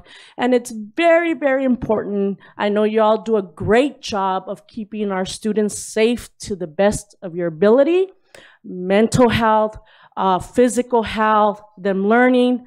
But as local organizations and community, we, we would love to do that outside of work. So we want to invite y'all to this community walk to join us April 13th from 8 a.m. to 11.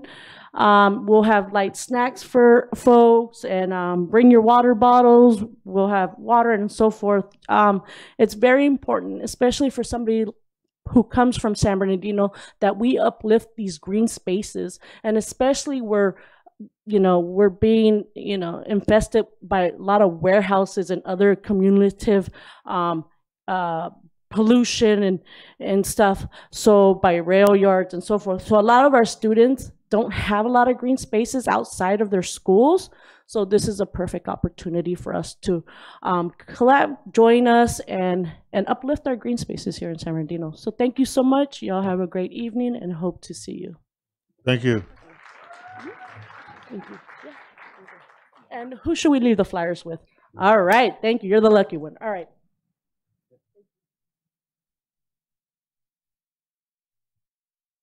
I believe the next speaker is Ms. Danielle, and I can't make out your last name. Weathers? Ms. Danielle Weathers. Thank you.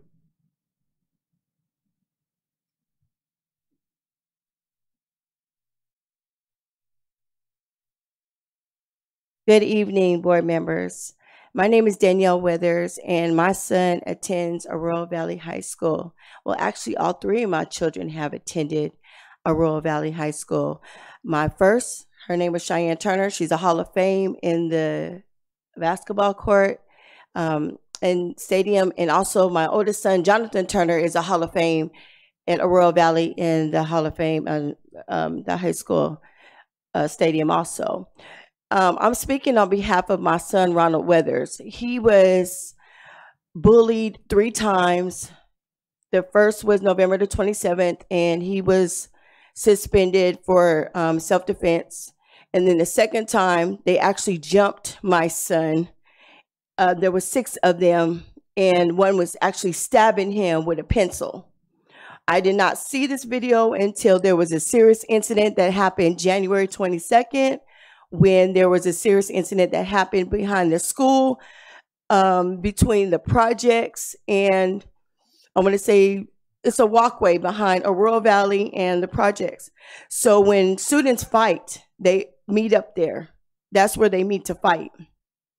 So, particular that day, there was a couple football players that have never ever been in trouble, um, and my son with the same, I'm gonna say, game bangers that attend Arroyo Valley that that when last year the the principal that was on duty last year told my husband that those students were not going to be there anymore that my son was going to be safe. And that was not true. There was no safety for my son. So that happened last year. And so they kept picking on all of the football players. A majority of them were ignoring them and just pretending to get through the school. And on January 22nd, something really, really terrible happened. They all met at that park, and that was supposed to be the last of it, the last fight. But there was a particular student that does not even attend there well, I heard that, well, I know that he doesn't attend there, but behind the school board, they're saying that this student attends there. He doesn't. He got hurt. And God forbid, I mean, I, I, I mean, I didn't want that child to get hurt. I was trying to pursue this because I was going to take my son out. But my son is number one in San Bernardino. He took Arroyo Valley to the playoffs, the first game. He's on ESPN. I mean, he just has future expectations going on. And I, like I said, they got fed up with the bullying and everything. So this child got hurt, and um, certain football players and my son was taken into custody, and um, so forth. They're still being bullied on certain aspects. I'm not going to say how when, but they are. And my son is up for explosion next month. And so are certain other football players that are up for explosion next month. And my son is a my son is a senior. He's supposed to walk that stage and he's supposed to be going to college. And guess what? Just because one incident put my son behind, and I understand, yes, you're supposed to get punished for the things that you have done. But when a student has been bullied for two years and nothing has been done, what can you do? So we're actually paying for this. We are paying for this. And I, I'm all I'm asking is just for safety for all these students. Um, so four on, so no one else will get hurt because someone else is probably going to die. And we don't want that for our students at all. We want to see them graduate. We want to see them in a career. And I'm just asking you to pursue in more safety at that school, please. And I, that's all I have to say. And God bless everybody. Thank you, Ms. Meadows.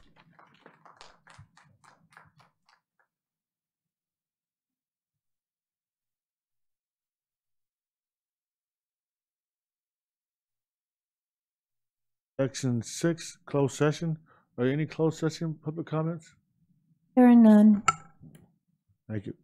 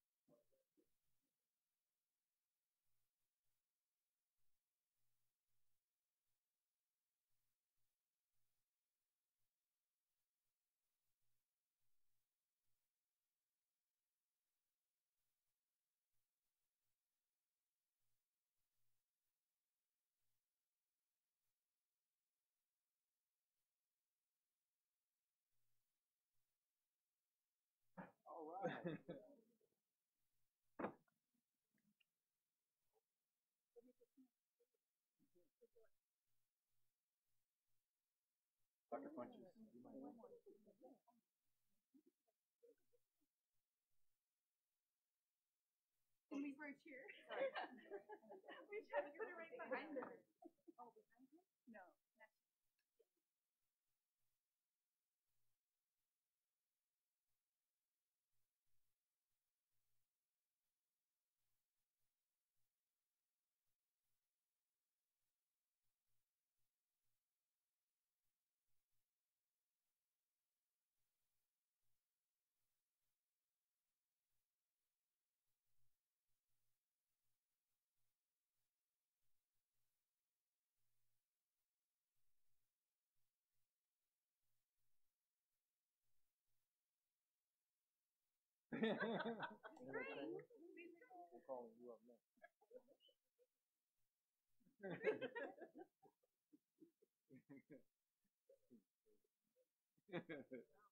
Oh, like your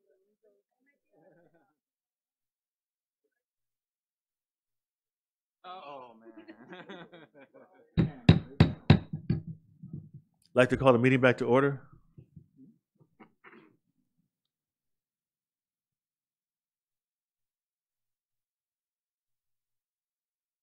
Actions recorded, reported from closed session.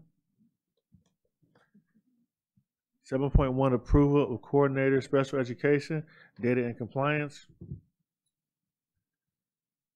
Be resolved, the Board of Education approved the appointment of the following employee, Patrick Smith, Coordinator, Special Education, Data and Compliance, effective date, work year, and salary to be determined.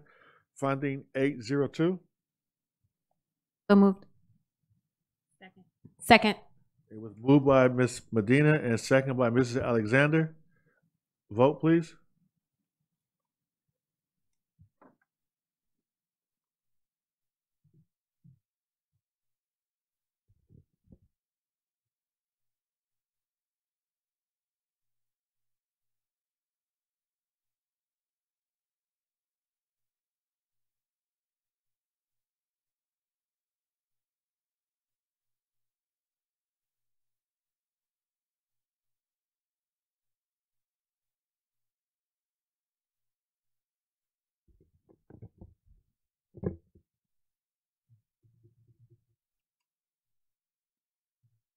Seven point one, I mean, seven point two.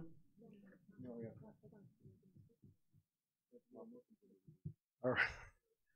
All right, board, I have the pleasure of ahead. introducing, I have the pleasure of introducing to you Mr. Patrick Smith, another homegrown San Bernardino employee. He's been with us since 2002, substitute teacher, special education uh, teacher, program specialist, and now being promoted to coordinator. Uh, Mr. Smith cares deeply about our special needs scholars in this community. Um, he has a knack for and a comprehensive background in data and the use of data to make informed decisions about uh, special needs scholars. Uh, as I worked as a principal, I remember Mr. Smith being very good with working with some of our advocates and our special needs community partners. And that was a skill that uh, I remember and that we need today. And then he loves our San Bernardino City Unified School District Community Board, Mr. Patrick Smith.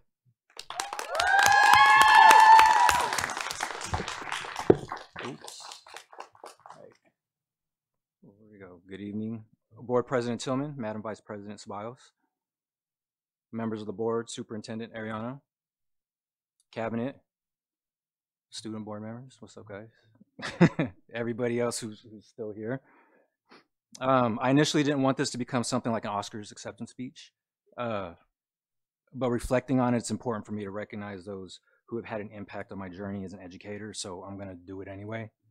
Um, plus, sometimes I kind of like to do what I want. So here we go. um, I want to start by thanking my family for their support and patience with me. Um, my wife Lucia is here in attendance with me. She was able to be here. Unfortunately, my son and my daughter are at work and at school, so um, they couldn't make it. Um, I'd like to thank the uh, interview panel who could have selected any of the other handful of candidates, but decided I was the best fit to lead the work despite an interview that was far from my best. It was it was terrible. It was bad. Um, I'd like to thank my mentors, those who encouraged me and those who inspired me who are no longer in the district. Uh, Pat Daniels, Mamie Holmes, Trish Robertson, Shelley Walsh, Chris Leroy, Ross Mack, Jim Ferranti, David Juarez, and Barbie Castro. And those still in the district, Jackie Willis, Dr. Rubio, Alejandro Hernandez, um, the data and compliance team, Toby, Olivia, Adriana, Tim, Janina, um, our foster member, Delia back here also, um, and the entire special education department staff, both at the Wall Building and at other locations. They've all played a role in enabling me to be able to serve our students and our community. And without just one of them as possible, this opportunity may not have come to fruition. I'd like to th thank Dr. Lundy, Special Ed Department and SELPA Director for always supporting me. When she first took over the department, she heard about my background with data, so she asked me what I thought about interviewing for a new data compliance program specialist position that she was creating, and honestly, my response was a quick no. Um, she was supported. She supported me in that uh, in that response, though. Um, as I had time to think about it and ultimately change my mind, she continued to support. Now, through her continued support, we have a great team in place that has implemented some highly effective uh, systems and processes to lay the foundation for even greater things to come as it relates to data and compliance and ultimately student success. I also appreciate how she, she lifts my team's morale at times. When she comes by our area to check with us, and out of nowhere, she'll do a little song and dance in the hallway. Um, my team will never get that from me, so that's a nice change of pace. um, my goals while in the position will be first and foremost to continue to find ways to make a positive impact for students, even if indirectly, creating and refining systems in order to enable our teachers to do what they do best, which is to teach and develop all students to be their best selves. Second, I want to help the district and SELPA to gain independence from state oversight and compliance monitoring in order for us to be able to increase and focus our resources on what we all signed up for, which is what is good for students and student success. I often say I love my job. I love what I do. It is true. But there's more to it than that. People who know me well know that I'm a proud Dino boy. I was born in St. Bernardine's Hospital and raised in this community. I attended Lincoln and Belvedere Elementary Schools, Curtis Middle School, Pacific High School, class of 1997. I've dedicated my entire 20 year educational career to this community, never thought twice about going anywhere else. Um, Superintendent Arellano, I was uh, at that meeting today that you spoke at. Um, and a message that you gave about being proud to say you're from San Bernardino absolutely resonated with me. I was thinking about it the whole day. Um, so from now on, I, there's no kids in the room, so so from now on, when people ask me if I'm from Ladino, you're damn right. When they ask if I'm happy with my career up to this point, servicing students and community of San Bernardino, you're damn right.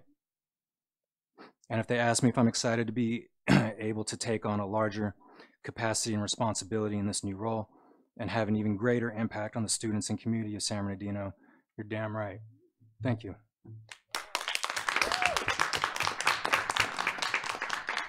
Thank you, Mr. Smith, and welcome aboard. Please don't use the other profanity that Mr. Arellano uses. I'm just playing. I'm just playing. I'm just playing. It hits different. Welcome aboard. I also was born at St. Bernardine, so we got something in common there. Next up is item number. We're going to table 7.2 and then item 7.3. Sir, I would like to pull item um, within 7.3, student number 410770. Okay. Any other changes? Do I pull uh, mine now as well? We're going to uh, make an amendment to uh, recommendation? Yes. Yes, so we also want to uh, amend 447531 from a one-year expulsion to a one-semester expulsion. En- Entertain a motion, please. Moved. Second. Miss, uh, moved by Ms. Ceballos and second by uh, Ms. Medina. Vote, please. Oh, hold up, Ms. Husky. I just want to clarify, I, I believe I heard earlier that it was going to be a one semester um, expulsion, one semester suspended expulsion. And I Exactly. just wanted to make sure that that was. That's what it is. what- Okay, Yes. just wanted it on the record. On the record, that's the amendment.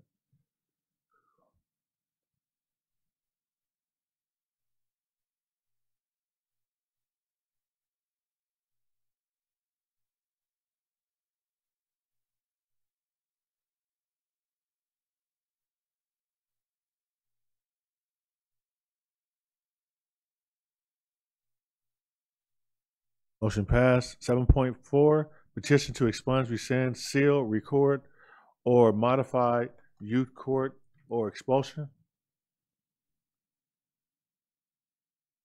A motion, please. So moved. Second. Moved by Mr. Husky, second by Ms. Medina.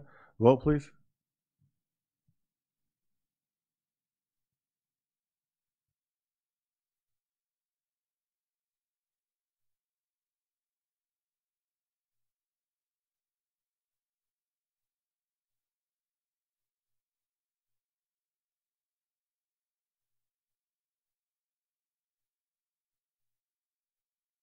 Seven point five, recommended for suspension or expulsion, excluding mandatory offenses, but remanded to youth court for other means of correction.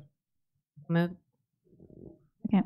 Moved by Mrs. Alexander and second by Ms. Ceballos. Vote, please.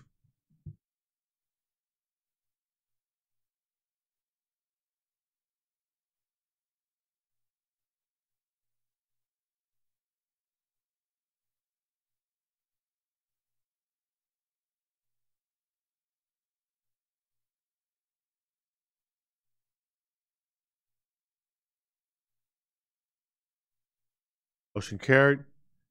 Other closed session action, be resolved, the Board of Education accepts the notice of recommendation for disciplinary action and statement of charges to suspend without pay for three days the following classified employees from his, her employment with the district, HR Class 232409 ER, HR Class 232410 ER. Move. Moved by Ms. Ceballos, Second. Second by Mrs. Alexander. Vote, please.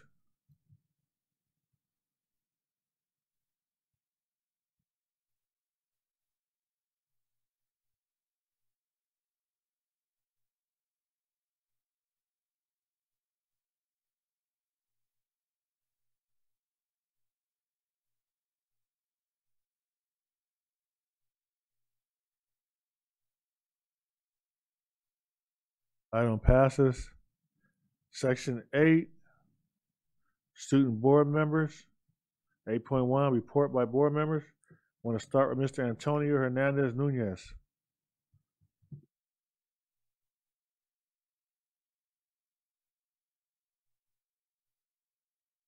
Good evening. My name is Antonio Hernandez. I'm a senior at Arroyo Valley, and I want to mention a couple of things. Um, first of them being today we started. Um, uh, I'm pretty sure at every school site or high schools, high school uh, campus, we started CAASPP testing, and for English and test and math for the juniors. And even though I'm not testing this year, uh, my teachers and classmates still make the experience like enjoyable. And I want to wish I want to wish all the juniors a good luck and like do well on your on your CAASPP test.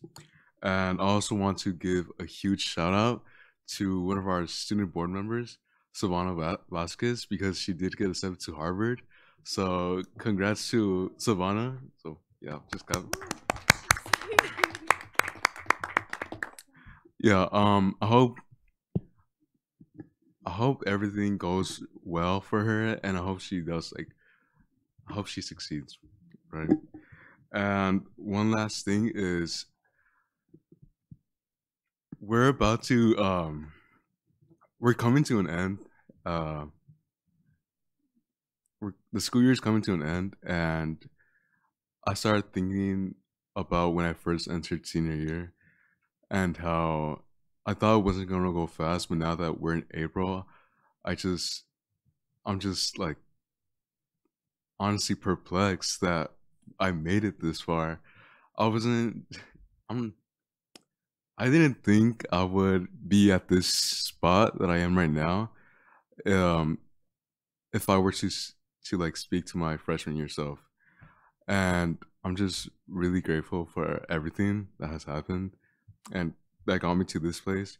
And I'm really excited and nervous that we're I'm about to graduate. So yeah.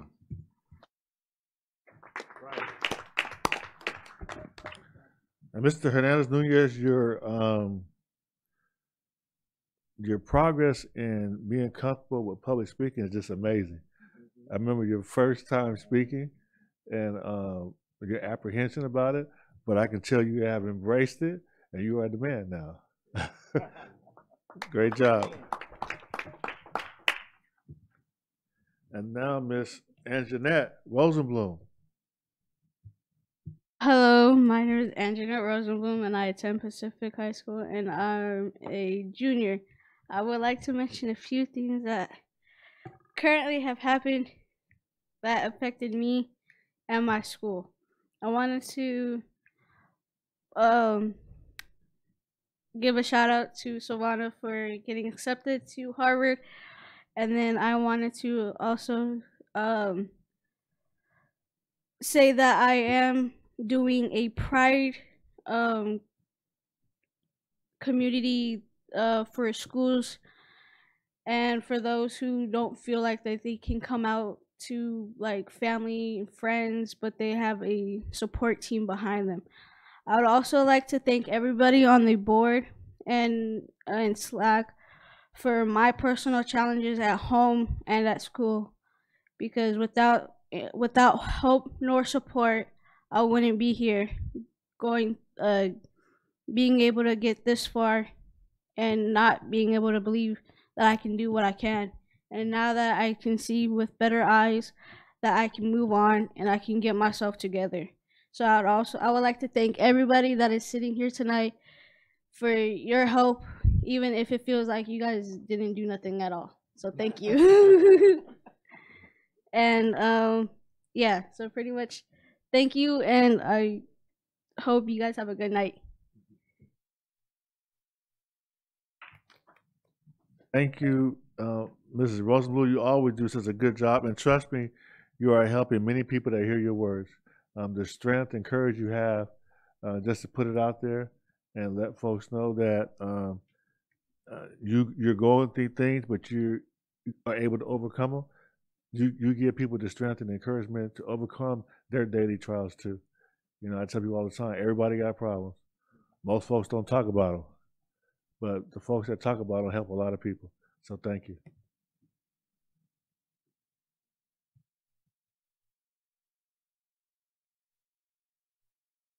And that brings us to uh, section nine, eight point ten, board discussion. I'm gonna leave on nine point one because uh, it's a conflict of interest. My uh, wife is actually the president of Links Incorporated, so I'm gonna walk out. I'm also gonna leave. I'm a member.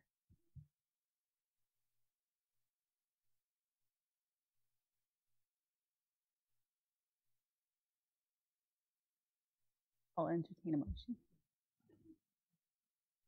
So, so, hey, it's my first time here on the mic. Super excited. um, so I'll ent- entertain a motion at this time. Um, I would like to move the um, silver sponsorship at five thousand dollars for the Link Scholarship Breakfast. Um, they've honored our kids for many years, and our, our kids really benefit from this. A second. Oh, a quick question. Um, have we, so we've spon, we've, uh, we've sponsored before, and what was the amounts that we've sponsored in the past? We have in the past sponsored per uh, student. So any student that was getting a scholarship, we gave twelve fifty each. So it varied depending on how many students from the district. Twelve fifty each, and this year are we um, sponsoring how many students, or is this just a whole? We don't even know how many yet. She said um, there was like four to six applicants, but they hadn't been chosen yet, so we don't know how many from our district. Okay, and this is consistent than what we've done in the past. Yeah, we don't usually do just a flat out five thousand, but since we don't know how many students are going to be doing it, it's probably equivalent. The reason why I mention that is because I just want to make sure that we're, you know, as we're doing this, I feel like we're receiving more, um, you know, promotions for it, those, you know, create a flyer or so forth. So as long as it's been something that we've done historically, which I appreciate you giving that and I definitely would support it.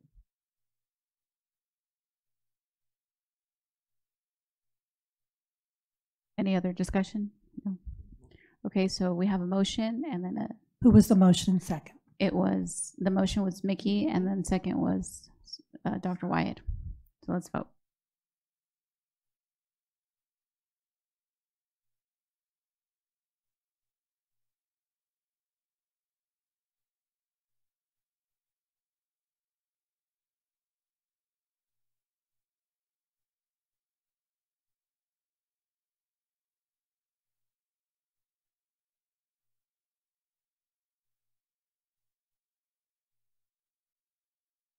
Ms. Husky, you want to just do verbal?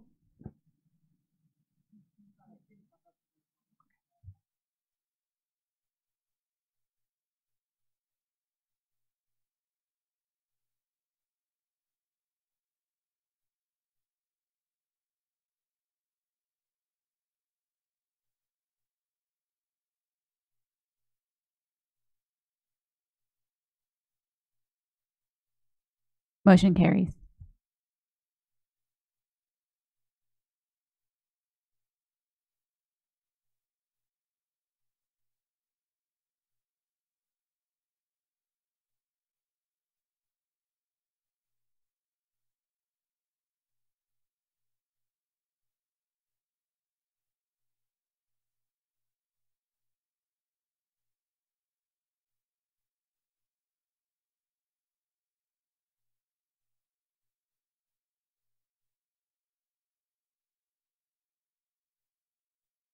Section ten, action items, ten point one, personnel report. As presented. So move. Second. Moved by Dr. Wise, second by Ms. Medina. Vote, please.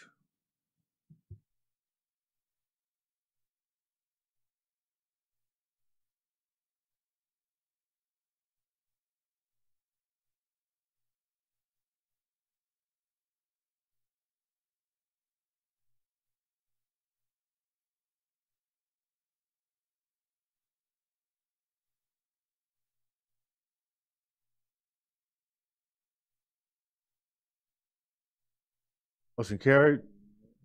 Ten point two, approval of the multi-year Vision twenty thirty plan. Moved. Second. You know, um, I, I do want to say, and I know, uh, Mr. Ari- Arellano knows this, but, you know, um, the, the thing of shine, uh, I think is a, a great thing. Cause I love things that shine. I like to shine my car and I like shiny rings and jewelry. But, uh, in order to make things shine, it requires work. And, and, and people are going to always question us when we say that the district is shining because they're going to point out the areas that, that need some elbow grease. And I think we should accept that challenge.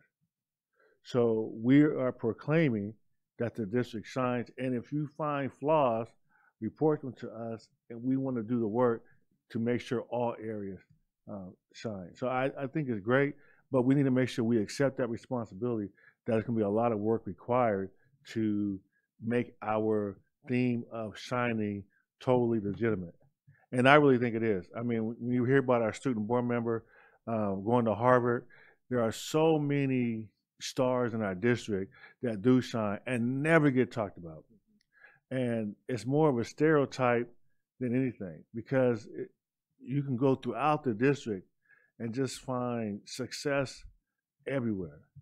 And to the extent that you could bring the average person to a any of our schools, and they wouldn't believe what they see in terms of uh, academic success, talent in every area, music, uh, art, uh, sports, um, um, the sciences. Our, our students are truly amazing. You know, because you visit the sites, and I, I have to even check myself because I can't tell you how many programs I've been to. and Just be like, wow, this is unbelievable. You know, these are our uh, students, and I'm talking about even uh, all our sites, the sites that will be considered. Uh, you wouldn't expect to go to a continuation school and find all the things that are going on there, and we get the awards for it. Uh, but so many of our um, uh, district employees put in the work to make so many kids uh, successful. And and I people ask me why I continue to do the work because in the end you're saving lives. And the schools are one place where you can empower a student that is living in abject poverty and chaos. But by getting that education, they can change their life and live whatever lifestyle they ever dream about. And that's the opportunity that we help facilitate. So I hope we uh, embrace the theme of shining and work hard to um, make the shine brighter than ever. Mr. Arellano, thank you. Dr. Wyatt. Thank you, Board President Tillman, and you know, great words about this plan and everything that we're moving forward on. Just uh, want to thank a lot of folks, starting with our superintendent, Mr. Arellano, our executive cabinet, our employees, our community, everyone that was a part of this, uh, developing this plan, our board, as well as our colleagues here on the board, and uh, just how excited I am about it. The one thing I know um, when Mr. Arellano came as superintendent, I, I really respected him for honoring the plan that was in place and the work that had been done. You know, he had uh, recognized that there was a tremendous amount of work that was done prior to him coming here, but he was excited and ready to build upon that. So I, am looking forward to launching this plan. Uh, you know, we align with the county-wide vision as well in regards to live, work, and play, and uh, that's something I try to honor here in our city. And sometimes it's difficult because we just don't have some of the places that other cities have. And I'll say this again and again that our district leads the way with transforming the city. It was great to see uh, Mayor Tran here, uh, County Board Supervisor Joe Baca Jr., um, Councilwoman Ibarra, and, and, seeing that support. I know we had support from many other uh, local politicians, and it's going to take that to move this city forward. But again, you know, your words today, Mr. Arellano, were inspiring because you talked about working together, having that continuity between city schools and our city and our county and other uh, local officials, building the city up because we need to do it. We definitely need to. do. We have great capacity here. Um, we have a number of outstanding venues right here in this city, but we lead the way, and I'm going to continue to say that because I take great pride in what we do. I want you to know that, and I really value the word pride. I do. And like uh, President Tillman said, we have uh, unbelievable students here. I've seen it since I was a young parent with young kids here, and then uh, as I grew here with Miss Medina, we watched our kids grow up together, and just the talent and the caliber of students that we have, as well as our staff. The sky's the limit. Just hearing one of our students was accepted to Harvard. Wow I was joking around with Miss Ceballos saying I got accepted to a Chaffey Community College myself on my third try.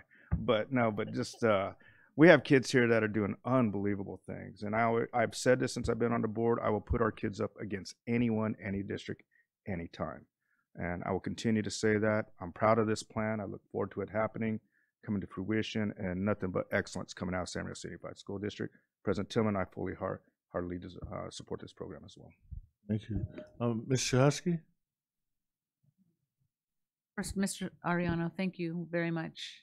Um, I think when the board hired you, you know, my hopes were for the passion and love that you have for our community to come back um, and pay off. And, you know, as I sat through the presentation today, I couldn't help but feel um, my own sense of pride um, for the work that we're doing and that we will do, but also just for everything that being a San Bernardino kid means.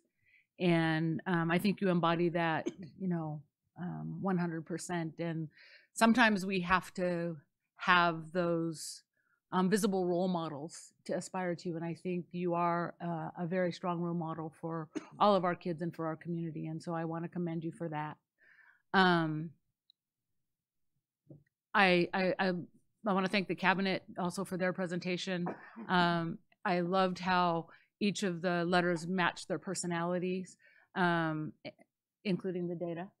And uh, Desmond over there.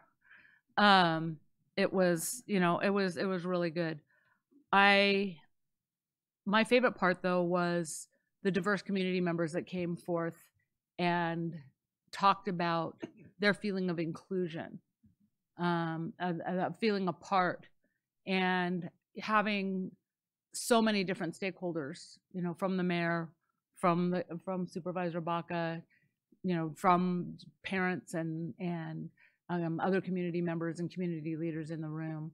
Um, it gives a, a, a, new sense of hope, you know, um, and that there will be a lot of people that are. It won't just be us trying to put the shine on on SBCUSD. That there will be a lot of people that are invested in us, and um, I, I, you know, the only thing I would want to say is I also hope that we can figure out how to include the city of Highland um, in, you know, helping SBCUSD shine. Um, you know, we we've got really good partnerships with the county and stuff, and sometimes I wish I could see them um, participate a little more as we work through our schools um, that that do reside in the city of Highland. And so I'm hoping that you know we can we can build that partnership as well. Um, but that's you know like today is a day of celebration, and you know that's just part of the of, of making SBCUSD shine. So just thank you very much. Um, and thank you to the community members and everyone that participated in in helping us write this because it's it wasn't an easy task to write it and it's not going to be an easy task um, but I think it's one that we're all willing to you know roll up our sleeves and and do for our you know for our students and for our future students in our community. Thank you. Thank you, Mr. Husky. Mrs. Alexander? I agree with everything that my colleagues said and Superintendent Arellano.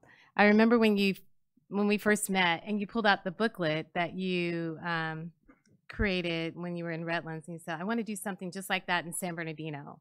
And I mean, if you don't have a vision, then it will perish. I mean, uh, Pastor Beckley said it, many of the other speakers said it, and thank you for leading the charge because transformation is not easy.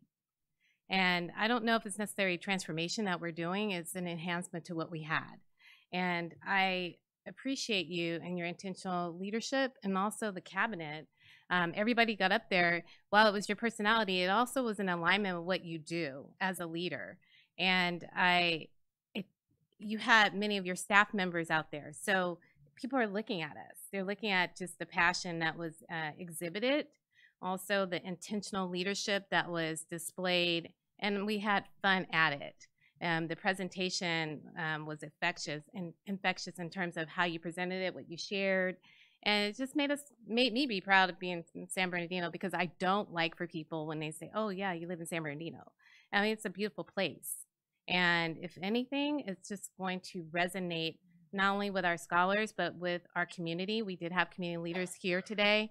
Um, so that shows collaboration, but most importantly, it's just taking us to another level and uh, just being that change that we feel that others should see.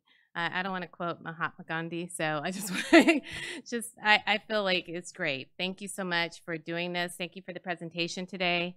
And then yes, do we have work to do? But we have to start somewhere. Thank you, uh, Ms. Alexander. Uh, Ms. Ms. Ceballos? Thank you. Um, I also want to uh, kind of share, um, you know, obviously a lot of what has already been shared. I, I um, share the same sentiment. Um, uh, but I, I, I want to also add a couple of things that I guess stood out for me. I also felt a tremendous, a tremendous sense of pride. Um, you know, just seeing the community come together, um, you know, and really just kind of, you know, injecting this this energy into um, what what we want to do and what we want to see come out of this.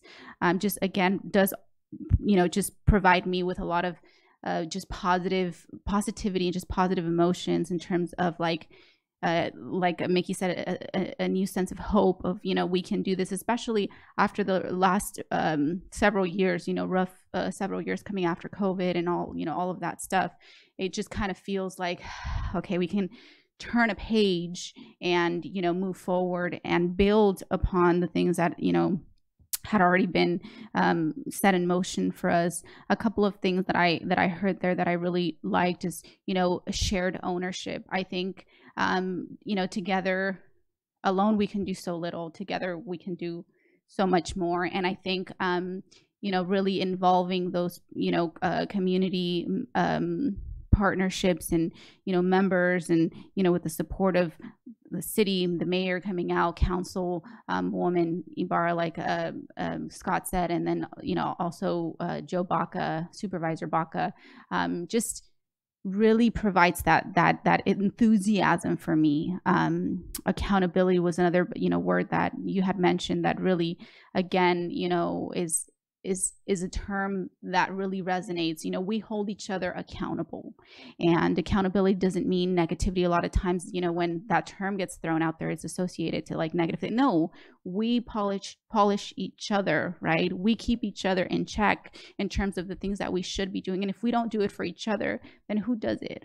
Right. And, and it's all from a good place coming of just trying to better the work that we do um, and elevate, you know, the the work that we do and then and then i really really liked the values portion of it um, and the fact that you selected human potential and pride you know um, in their positions uh, of it because i am a true believer that no student is a, a waste or or you know that doesn't lack like every student has the potential. And like you said we have to find that potential. Every student every life you know matters.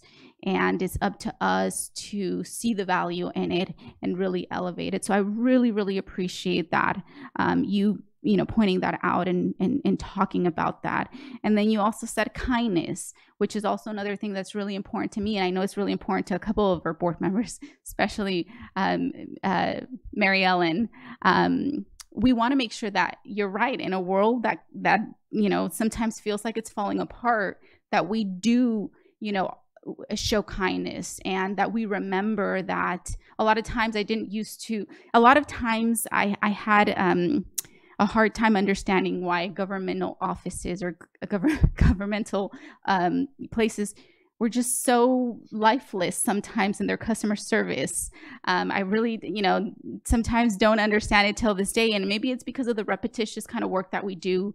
And maybe because, you know, sometimes we have a sense of job security, whereas, you know, maybe private institutions, there's there's more emphasis on that customer service piece. But we, we tend to forget that we are here providing a service providing a service for students and providing a service for families. And just to constantly be reminded you know we are here to serve and we need to do it you know with the with a happy heart.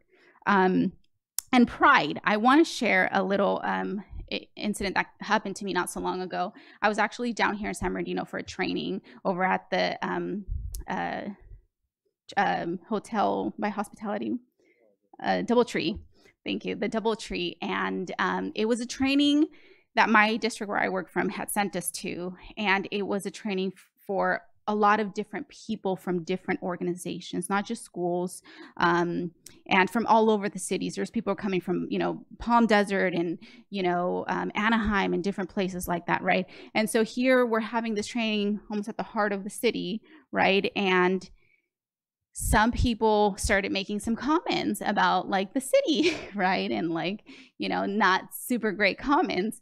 And I remember sitting there and thinking, like, as they were making comments, um, I sat there and I was like, um, no, there, there's a lot of great people here. I live here. so, um, you know, going back to that sense of joy, sense of pride, I don't know that, you know, years from that date, I would have spoken up and said something like that. So again, really um, developing that pride in our city and in you know in our students to say you know we do have great people here, we have great programs, um, and to feel just that sense of pride to belong. I think um, just providing that message across the district uh, is going to that within itself and infecting with uh, injecting with that positivity can can do great things just that alone so again thank you so much for everything that you do and um, thank you to cabinet as well i think again that speaks to ownership owned um, shared ownership you guys coming up and each of you presenting your own you know departments that you kind of oversee um, instead of just the superintendents you know sitting up there and talking it really just you know brings that whole piece together so thank you so much i really do appreciate it Thank you, Mr. Biles. Ms. Medina? Yes, no, I too, I too want to say that I was very pleased. I was um, ecstatic. I I felt the emotions of being that person, the parent that wanted the best for their children, and knowing that we um, we have been heading in that direction. And and I did love what Dr. Fuentes mentioned about equity and how our district has been uh, you know, ahead of the game when it comes to other areas wanting to dismantle equity, wanting to dismantle, um, you know, student rights or or so forth. And we we pushed against it and we brought it. If they were taking it away, we're going to bring it here because we understand that this is what's needed for our students. And so I'm really proud of our district and I'm proud of the work that we're doing. And I, I just love just the visual aspect. I know it was mentioned as well. Landscape, looking at our schools, being prideful of, of where we're we're sending our kids to, and just being in the board meeting and just feeling that joy, the design. So I also want to say thank you to our co- uh, communications team as well for providing all of this beautiful um, it, it does bring that visual aspect to it. Like, you know, we're greatness, uh, uh, something of greatness. So I, I, I want to thank everyone that spoke. Um, those presentations, I mean, it, it created humor. It, it, drew drew people in that, that were in the audience. And I imagine those that are watching it online as well. So thank you so much. And I'm really excited. Thank you, Mr. Medina. And, um, you know, sometimes I forget the, um, the fact that Mr. Arellano uh, is from San Bernardino, born and raised, and uh, has spent time in the community. And he's about ready to say a few words, and he's looking so stoic, so I got to make him laugh. Uh, Ray Culberson told me that Mr. Arellano told him that he bought his suit from the rag man. Y'all don't know who the rag man was. There's a few of us do, so I want to make sure I put it on the record that he told Ray that. wow. well, first of all, just on um, board, on, on, behalf of cabinet and myself and everyone across the San Marino Unified School District, we really appreciate your positivity, your words of support, and we feel you. We feel that you are behind us, and that's what makes our work uh, a lot easier to do. I also just want to publicly also thank just my cabinet. I've said I, I don't want to say I can't say this enough. I have a very good, great, wonderful, amazing cabinet. Uh, a lot of the ideas that you see in the core values in the um, document of Vision 2030 were ideas that came from the discussion of my colleagues. They are some very bright and creative people. And I also want to thank Mary Rowan and the communications department because the design of our product was important, not just the words. The design had to be important, and, and I believe uh, Mary Rowan and her group, you guys nailed it. This is a beautiful document that we're going to saturate the community with. So the last thing I will say, I'm going to reinforce what uh, Mr. Tillman and others have said. Now it's time to do the work. Um, and we are working, the board, the cabinet and myself are working with our directors across the different departments of putting together an action plan. We're working with a very exclusive and well-known research company, Hanover Research, uh, that will be helping us uh, to create that plan and to monitor that plan and actually evaluate our progress. Uh, so it's a neutral third party coming in every year uh, so that we can be honest with ourselves right? Sometimes it's hard to be honest with yourselves. So we're very excited. We're we're we're going to get the job done. And uh, as I've said before, our, my ultimate goal, our ultimate goal, is we want San Bernardino City Unified School District to be a destiny district, and we want the city of San Bernardino to be a city of destiny. So thank you all for your support and your kind words today. And moved and second. Vote, please. You say the motion and second again, please. Second. Who did it? It was moved by Mr. Husky and second by Mrs. Alexander.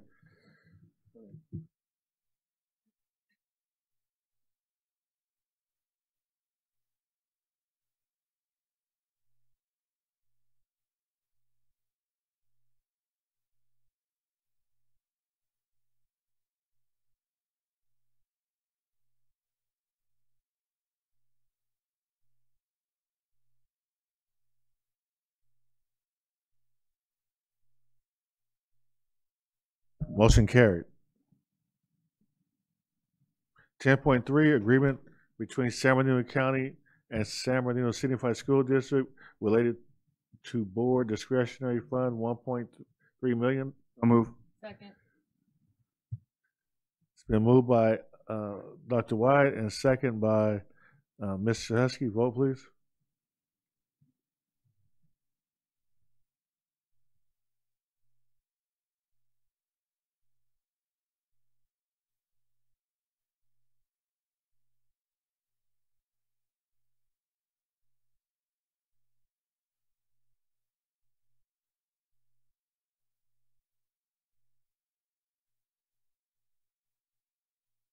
Motion carried. Ten point four, resolution adopting goals and policies for community facilities districts. So move. Second. Moved by Dr. Wyatt and second by Ms. Ceballos. Vote, please.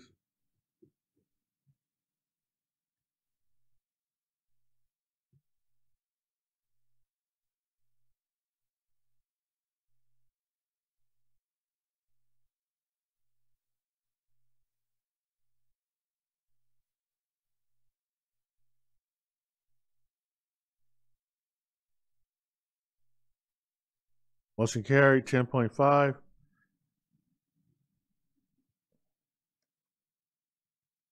Approval of district's transportation plan 2024-2025.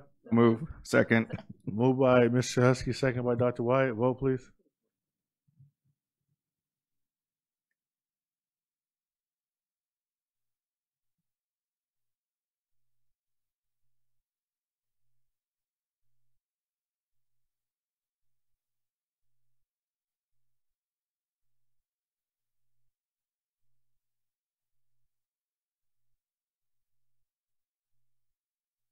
Motion carried. Ten point six, approval of the Career Technical Education Advisory Committee.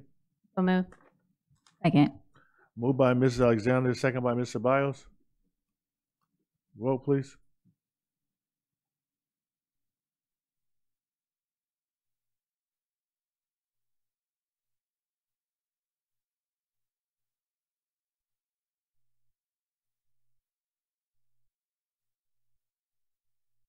Item carried. Ten point seven, compensation for a school board member. So moved. Second. It's been moved and second. Vote, please.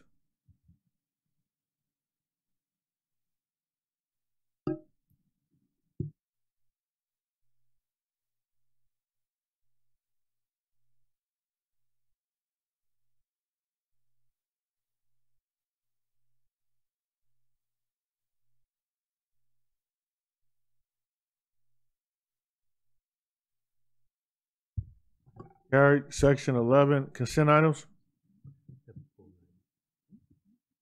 So moved. Second. Moved by Mr. Hussey, second by uh, Ms. Medina. Uh, Any to pull? Yes, uh, President Tillman, we would like to pull item eleven point four today, please. Just table it? Yes, sir. Okay. Um, President Tillman, eleven point three nine, eleven point four one, for me, I'll be abstaining. There are contracts with county offices. uh, Eleven point three nine, eleven point, Four one, I'll just be abstaining. other than those, vote please.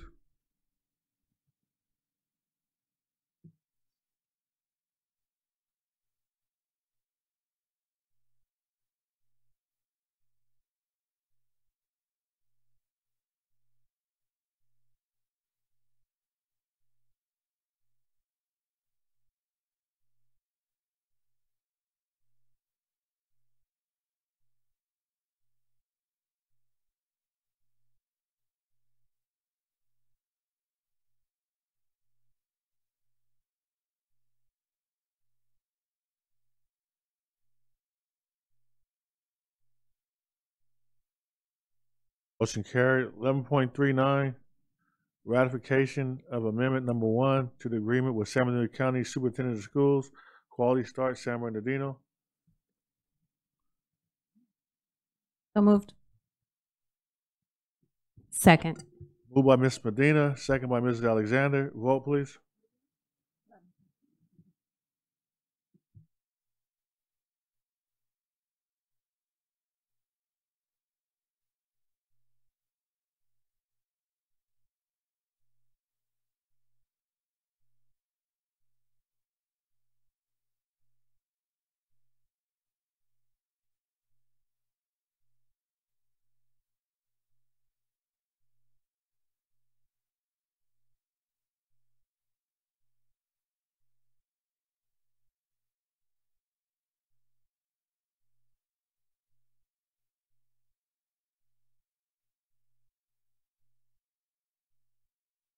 On these, uh, anytime it's, it's an item with, uh, legal.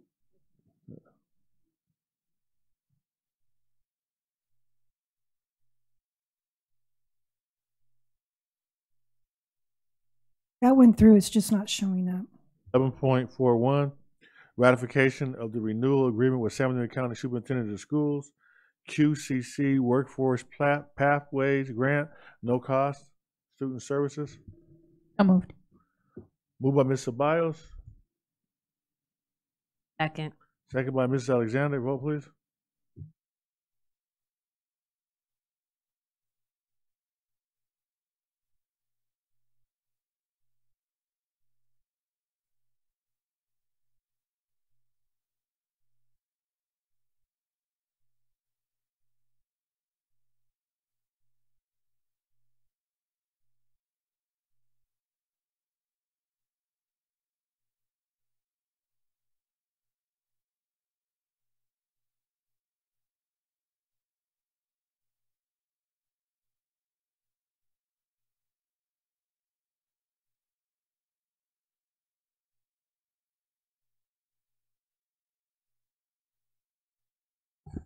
Well, it saved, it went through.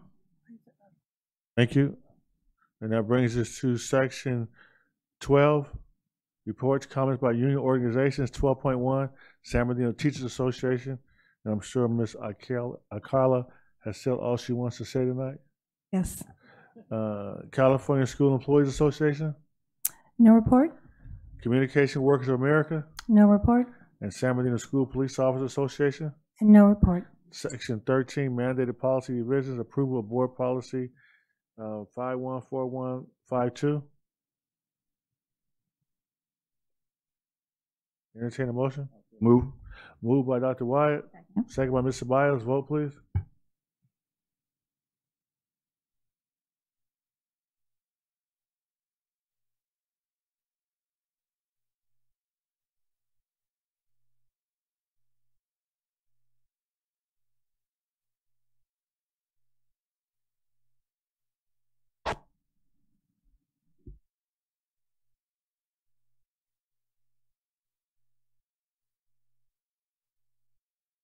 President Tillman, I just set up the wrong one. I did the second one. I just did the approval for board bylaw 9010, so give me a minute to switch it back.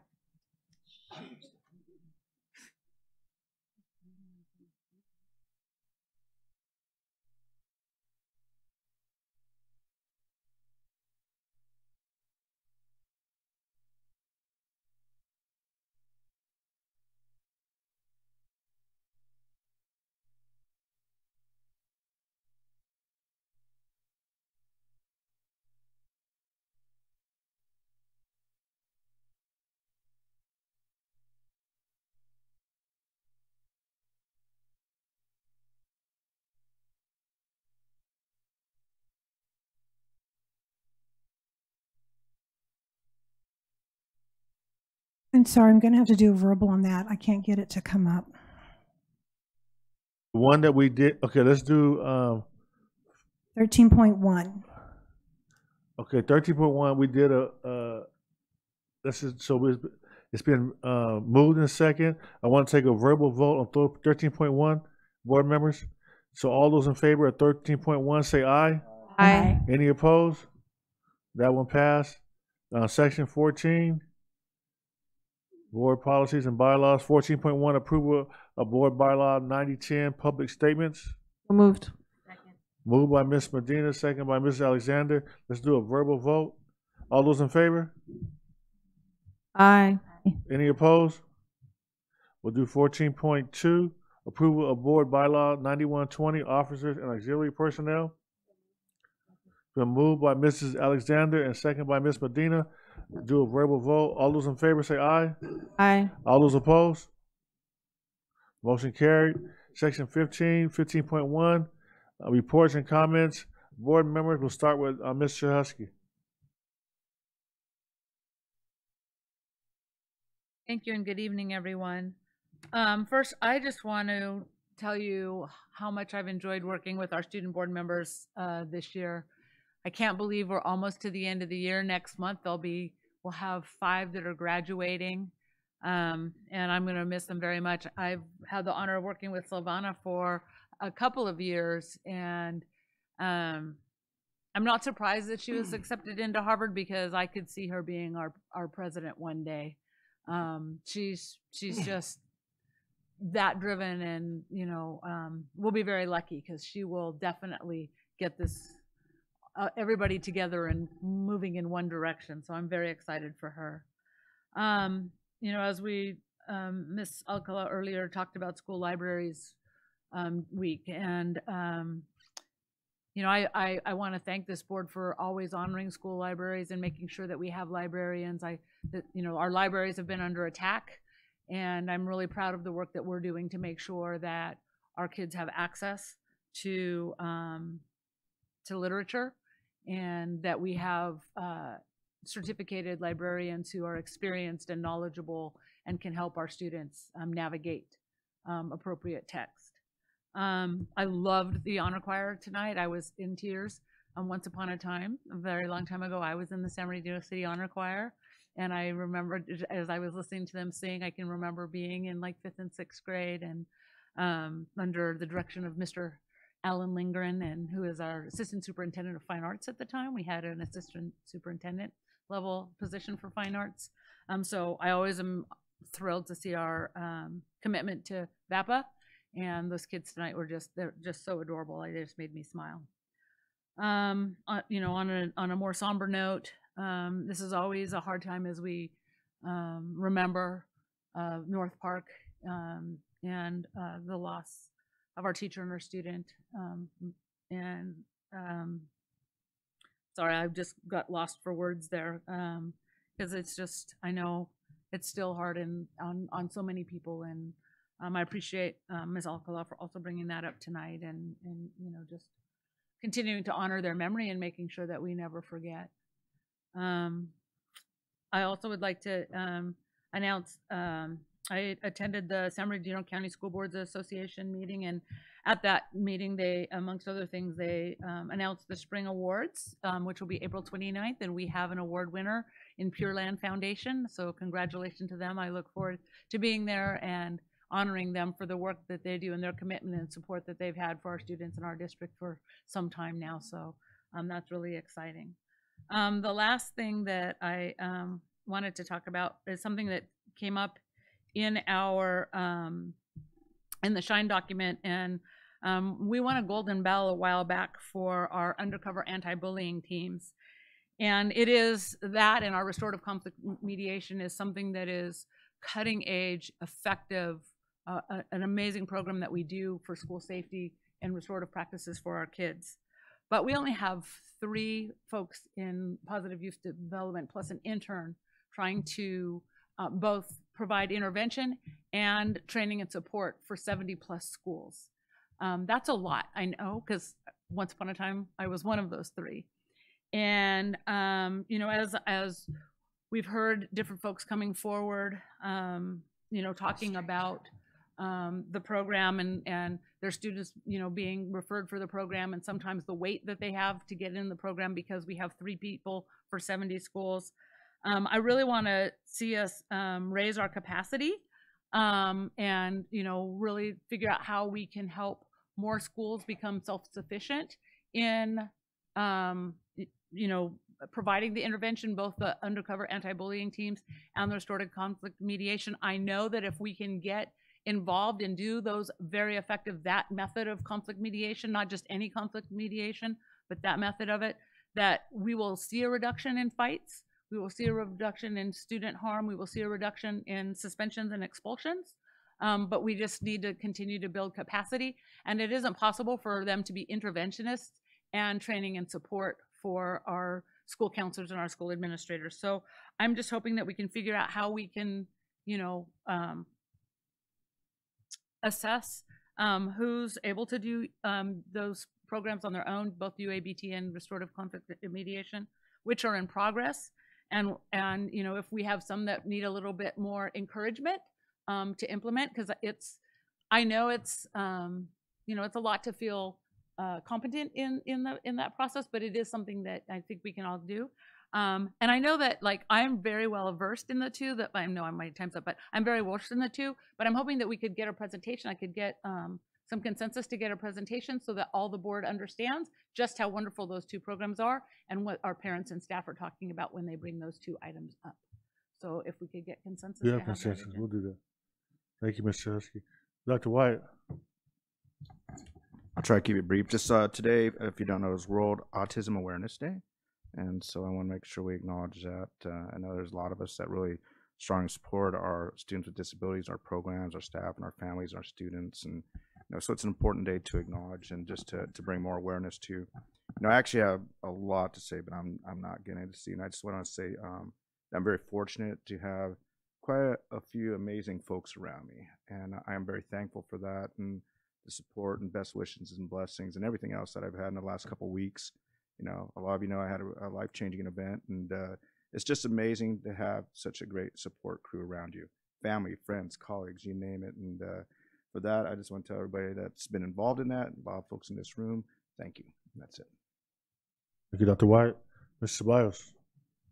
I'll try to be brief as well. Um, I did want to say, um, give a, a special thank you to um, Belvedere um, Elementary, Miss uh, Charlotte Gonzalez, uh, who's the librarian actually over there. Uh, she had um, it was Read Across America a couple weeks ago, and um, she was one of the schools that I had signed up for, and it was just a really, really wonderful experience um, for me. It was actually my first time um, attending, and the the school just welcomed me with really, really nice, positive, um, just you know, open arms, and I really appreciate that. Special shout out to VP Treg Painter, um, and then Principal Erica Rios over there as well.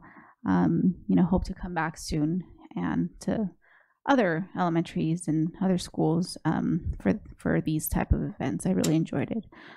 Um, I also want to say congratulations to Savannah, um, making us proud, um, and can't can't wait to to see her become our first woman president. um, and then I do want to also second um, uh, the comments that were made by uh, Ms. Ch- Chahusky in terms of the mediation and anti-bully or a- undercover teams. They really, really are phenomenal. Um, phenomenal uh, interventions and phenomenal programs, but they do require a specific level of skill to be able to perform them. Um, and they do require uh, time to invest in them. I actually had the fortune to, when I was doing my practicum and my internship, um, part of part of those hours, to be part of. Um, they so graciously took me in, and and I was able to kind of ride alongside them and really see the magic happen before my eyes. Really, really magical and transformational. Just um, the the turnaround that you see in the students um, a- and and the science that goes behind the intervention it is truly phenomenal. Um, eh, obviously i don't want to go into the details of it right because uh, um, a presentation would be great. A presentation also supporting um, again the capacity not only at the district level but also i do remember that when i was you know involved um, you know shadow, shadowing um, it it requires it requires a lot of constant feedback to like new counselors. So if we wanted to build the capacity for for individual site counselors it does require you know demonstration work side by side um, for them to be able to learn and then get instant feedback and correction. So that's why for a long time i've really been supporting you know um, and, and, and advocating for these types of programs to build the capacity, but we need more than just presentations. We need more than just professional development in the sense of here's a PowerPoint, here's what you're supposed to be doing, you know, go, go get out there and do it. No, they they need coaching, side by side training. So I hope, you know, that I've been annoying enough um, in that in that sense with those specific departments to make sure that there is more collaboration between wherever there needs to be. I keep saying special education. Um, Swiss department and PYD uh, because there's some overlap in the kind of work that they do. Um, so I really hope that that's not ha- has not been falling on deaf ears. Um, you know, as I wait patiently to hopefully hear that this upcoming summer, um, instead of having three different conferences, that we'll have some overlap and collaboration between those three departments as I've been bringing this up since the beginning of the year. So I really do hope to hear that that has um, and is you know taking effect. Um, other than that, thank you so much. Thank you, Mr. Ceballos. Ms. Medina? Yes, um, I'm glad that also the, the North Park, um, Elementary School was brought. Um, that was a, a very difficult time for the board members back then. I remember I was a VP and, um, for the staff, for the children in the classrooms and, and just witnessing firsthand being in the auditorium. And I know, um, Danny, Mr. Tillman was there and Scott. Um, it, it, was, it was heart wrenching and knowing the fact that it could have been your child. Um, and not knowing what was happening, all of that. And and I I was very proud that our district did provide um, um, counseling and making sure that it was anybody that was being, um, even us board members, you know, impacted by it. And then, um, you know, some of us witnessing when I had to translate, you know, some of the children that were in that same classroom and and the you know the parents reuniting with them. It's just really difficult. So I'm glad that.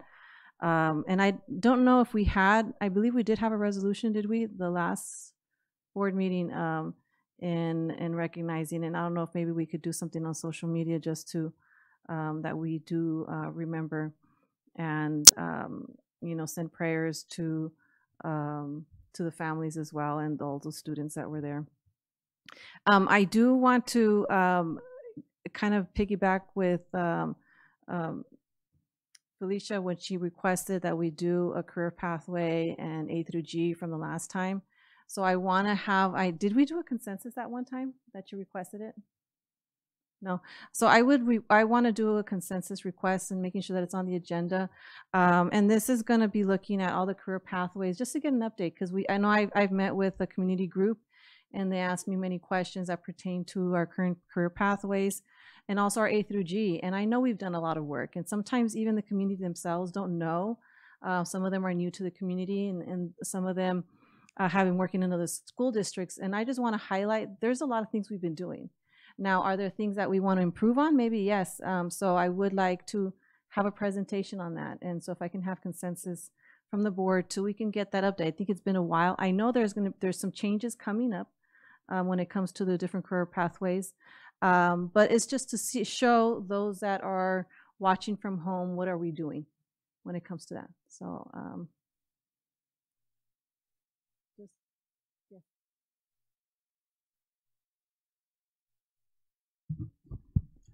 Certainly, uh, we'll put a presentation together specifically so I capture exactly what you need.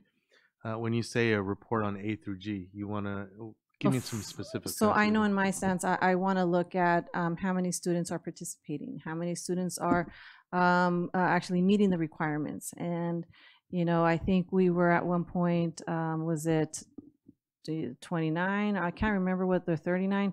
So I, I wonder what where we're at right now. And then also looking at um, areas of improvement, if maybe we can look at um, areas of improving certain area, yeah, when it comes to our students and those. And I don't know if you wanted to piggyback on that one, take advantage of my minute. Sure. Thank you. Um, just to further support, it's just a matter of just making sure that we're preparing our scholars from, um, because some of the pathway programs filter into elementary schools as well as middle schools. So how do they feed into each other for those particular pathway programs? And then ultimately, are we making sure, one, we're communicating to all of the scholars that they have that opportunity and how are we communicating it and then encouraging them to participate in those programs. Yeah, go ahead. Oh, what? Here's the, here's the problem. We can't discuss an item that's not agendized. Oh, You guys, hold on, you guys are making reports, but we can't just do an impromptu meeting and start discussing a specific item. It was just to make a request that that's what I would like to see on the next. Right, and it, and it was a follow-up to my request last time, and it wasn't on the agenda. Uh, But we can't do a coordinated, I wanna, Okay. No problem. you can finish with your report, Ms. Okay, and then I'll, I'll just uh, finish really quickly. Um, I, I was really glad that I had, there was Mari, Ma Carmen that came down, as well as Angie, when it came to the Walking with Communities series. And I think when they approached me, uh, Ma- Mari Carmen approached me was because we've had several parents um, who have passed away um, in the school district and um, due to cancer, not to say that it's related to this, but um, it's just to highlight the environmental impacts that are that is really happening in our area here. So they do have those community um, community walks.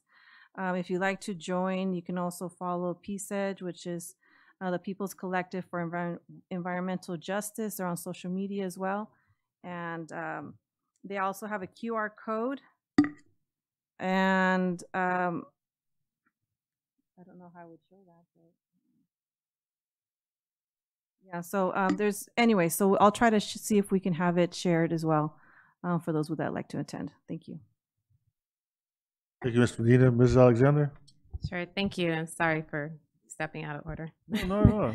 um, so I just also wanted to highlight um, our students that came out, the choir, the honors choir. They did a great job, and um, and they were on cue, and their song was in alignment with our theme. And I had asked the superintendent, I was like, "Did you know they were going to sing that song?" So I thought that was great. It was a great start. Um, also, congratulations to Savannah for getting accepted to Harvard, but congratulations to all of our scholars because I think now um, our seniors are finding out about the colleges that they've been accepted to, and I think it's just amazing um, the number of students that I'm seeing on social media that are in our district that are going on to furthering their education. Um, the community college level as well as a four-year institution. I think that's awesome.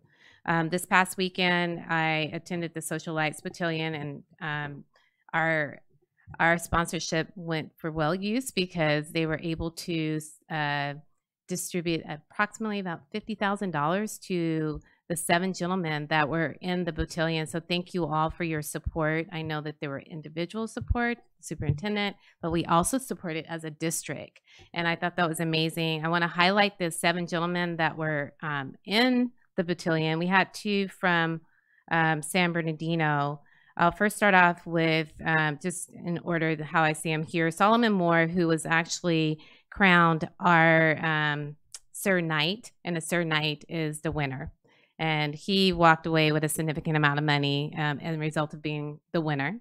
Uh, but every one of the contestants or knights actually walked away with a computer. They all walked away with money, and um, they walked away with a travel voucher. So that's pretty significant. Um, Ali Dup- Duprales, who is also one of the knights, Daniel Perez, who is um, a scholar at Cajon High School, and he's also an honors student. Um, Daniel, Daniel and Solomon both received the highest honors in terms of their GPA, and um, definitely worth recognizing that because they're very, all of them are hard workers, but these two young men, their GPA was um, 3.8 and above.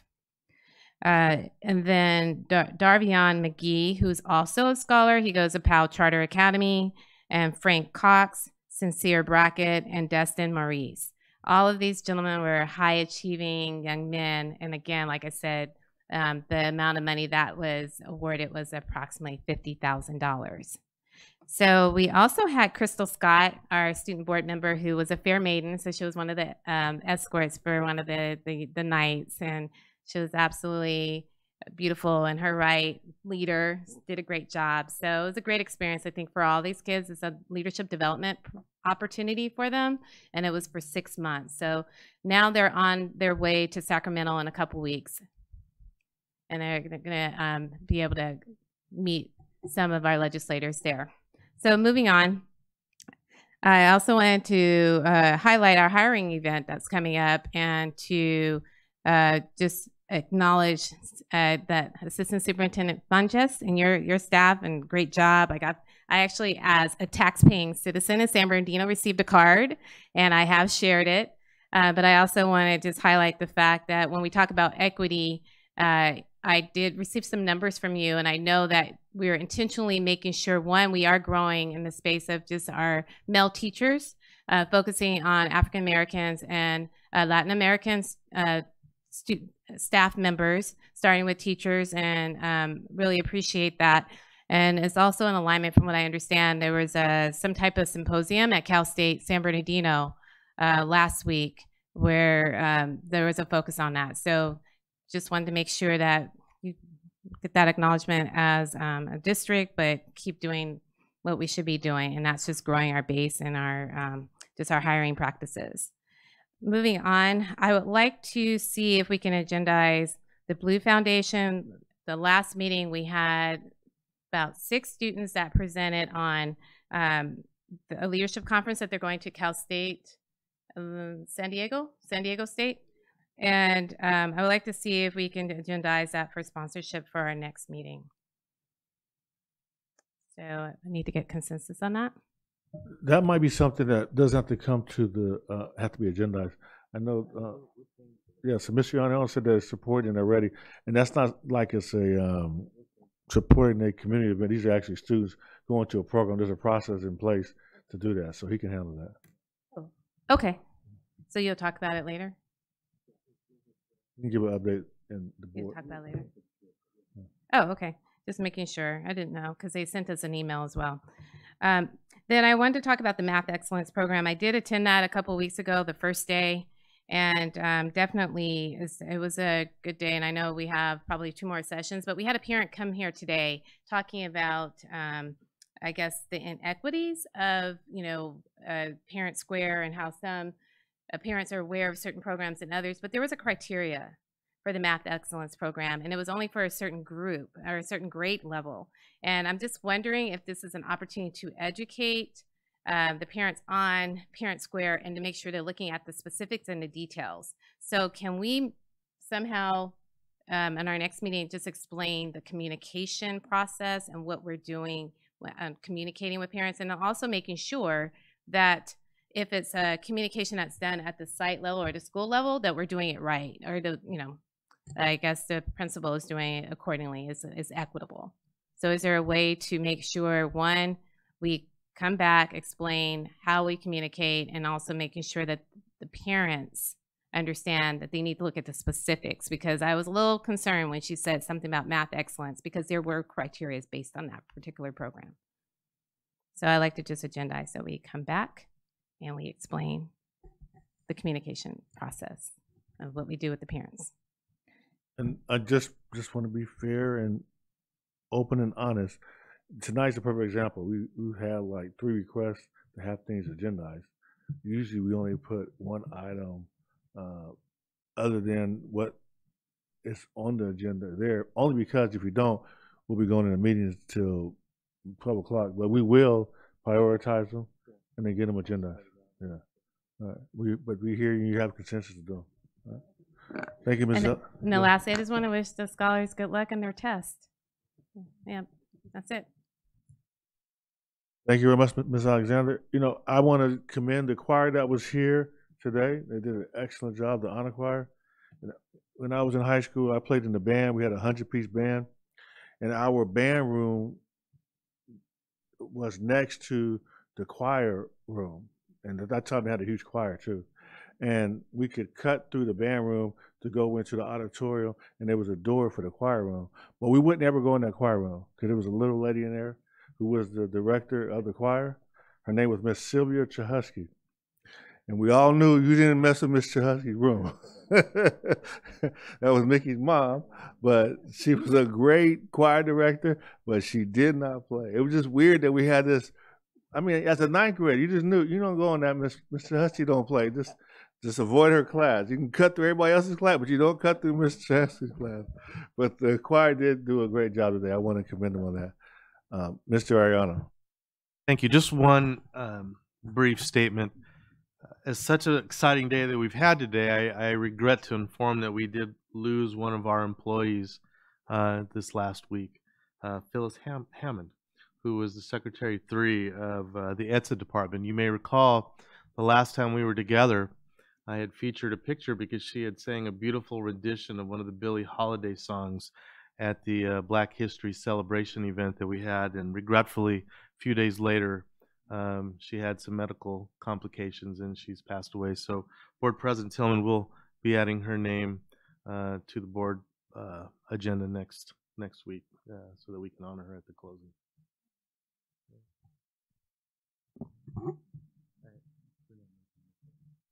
Thank you, President Tillman. Thank you. And that, that's your report? Yes, sir. Thank you. Uh, I agree. Uh, Section sixteen, uh, summary of board members' requests. Good evening. The first request is from Ms. Chehesky and Ceballos. Um, they are requesting to raise and build capacity and figure how to f- provide training and support since the positive youth development department is short staffed. They would like to see consensus on a present presentation for undercover anti bullying and restorative conflict mediation, including what schools are fully implemented and what the needs are to get all schools to be able to conduct their own. Ms. Ceballos re- restated her request on streamlining departments trainings so there are no different trainings occurring with different messages um, consensus was given tonight. Ms. Rosales Medina requesting a career pathways and A through G presentations, specifically on how many students are participating and meeting the requirements, uh, the areas of improvement, how do they feed into each other in the pathways, and how are we communicating them out and encouraging them to participate? Uh, We need clarification if we have consensus for this. Yes. Do we have consensus for that one? I think, so, yes. Ms. Alexander requests that we explain the communication process regarding Parent Square and make sure that sites are that are using Parent Square are using it equitably. And that was it. Thank you. Thank you. Entertain a mo- a motion to adjourn? Motion to adjourn. Second. Meeting adjourned.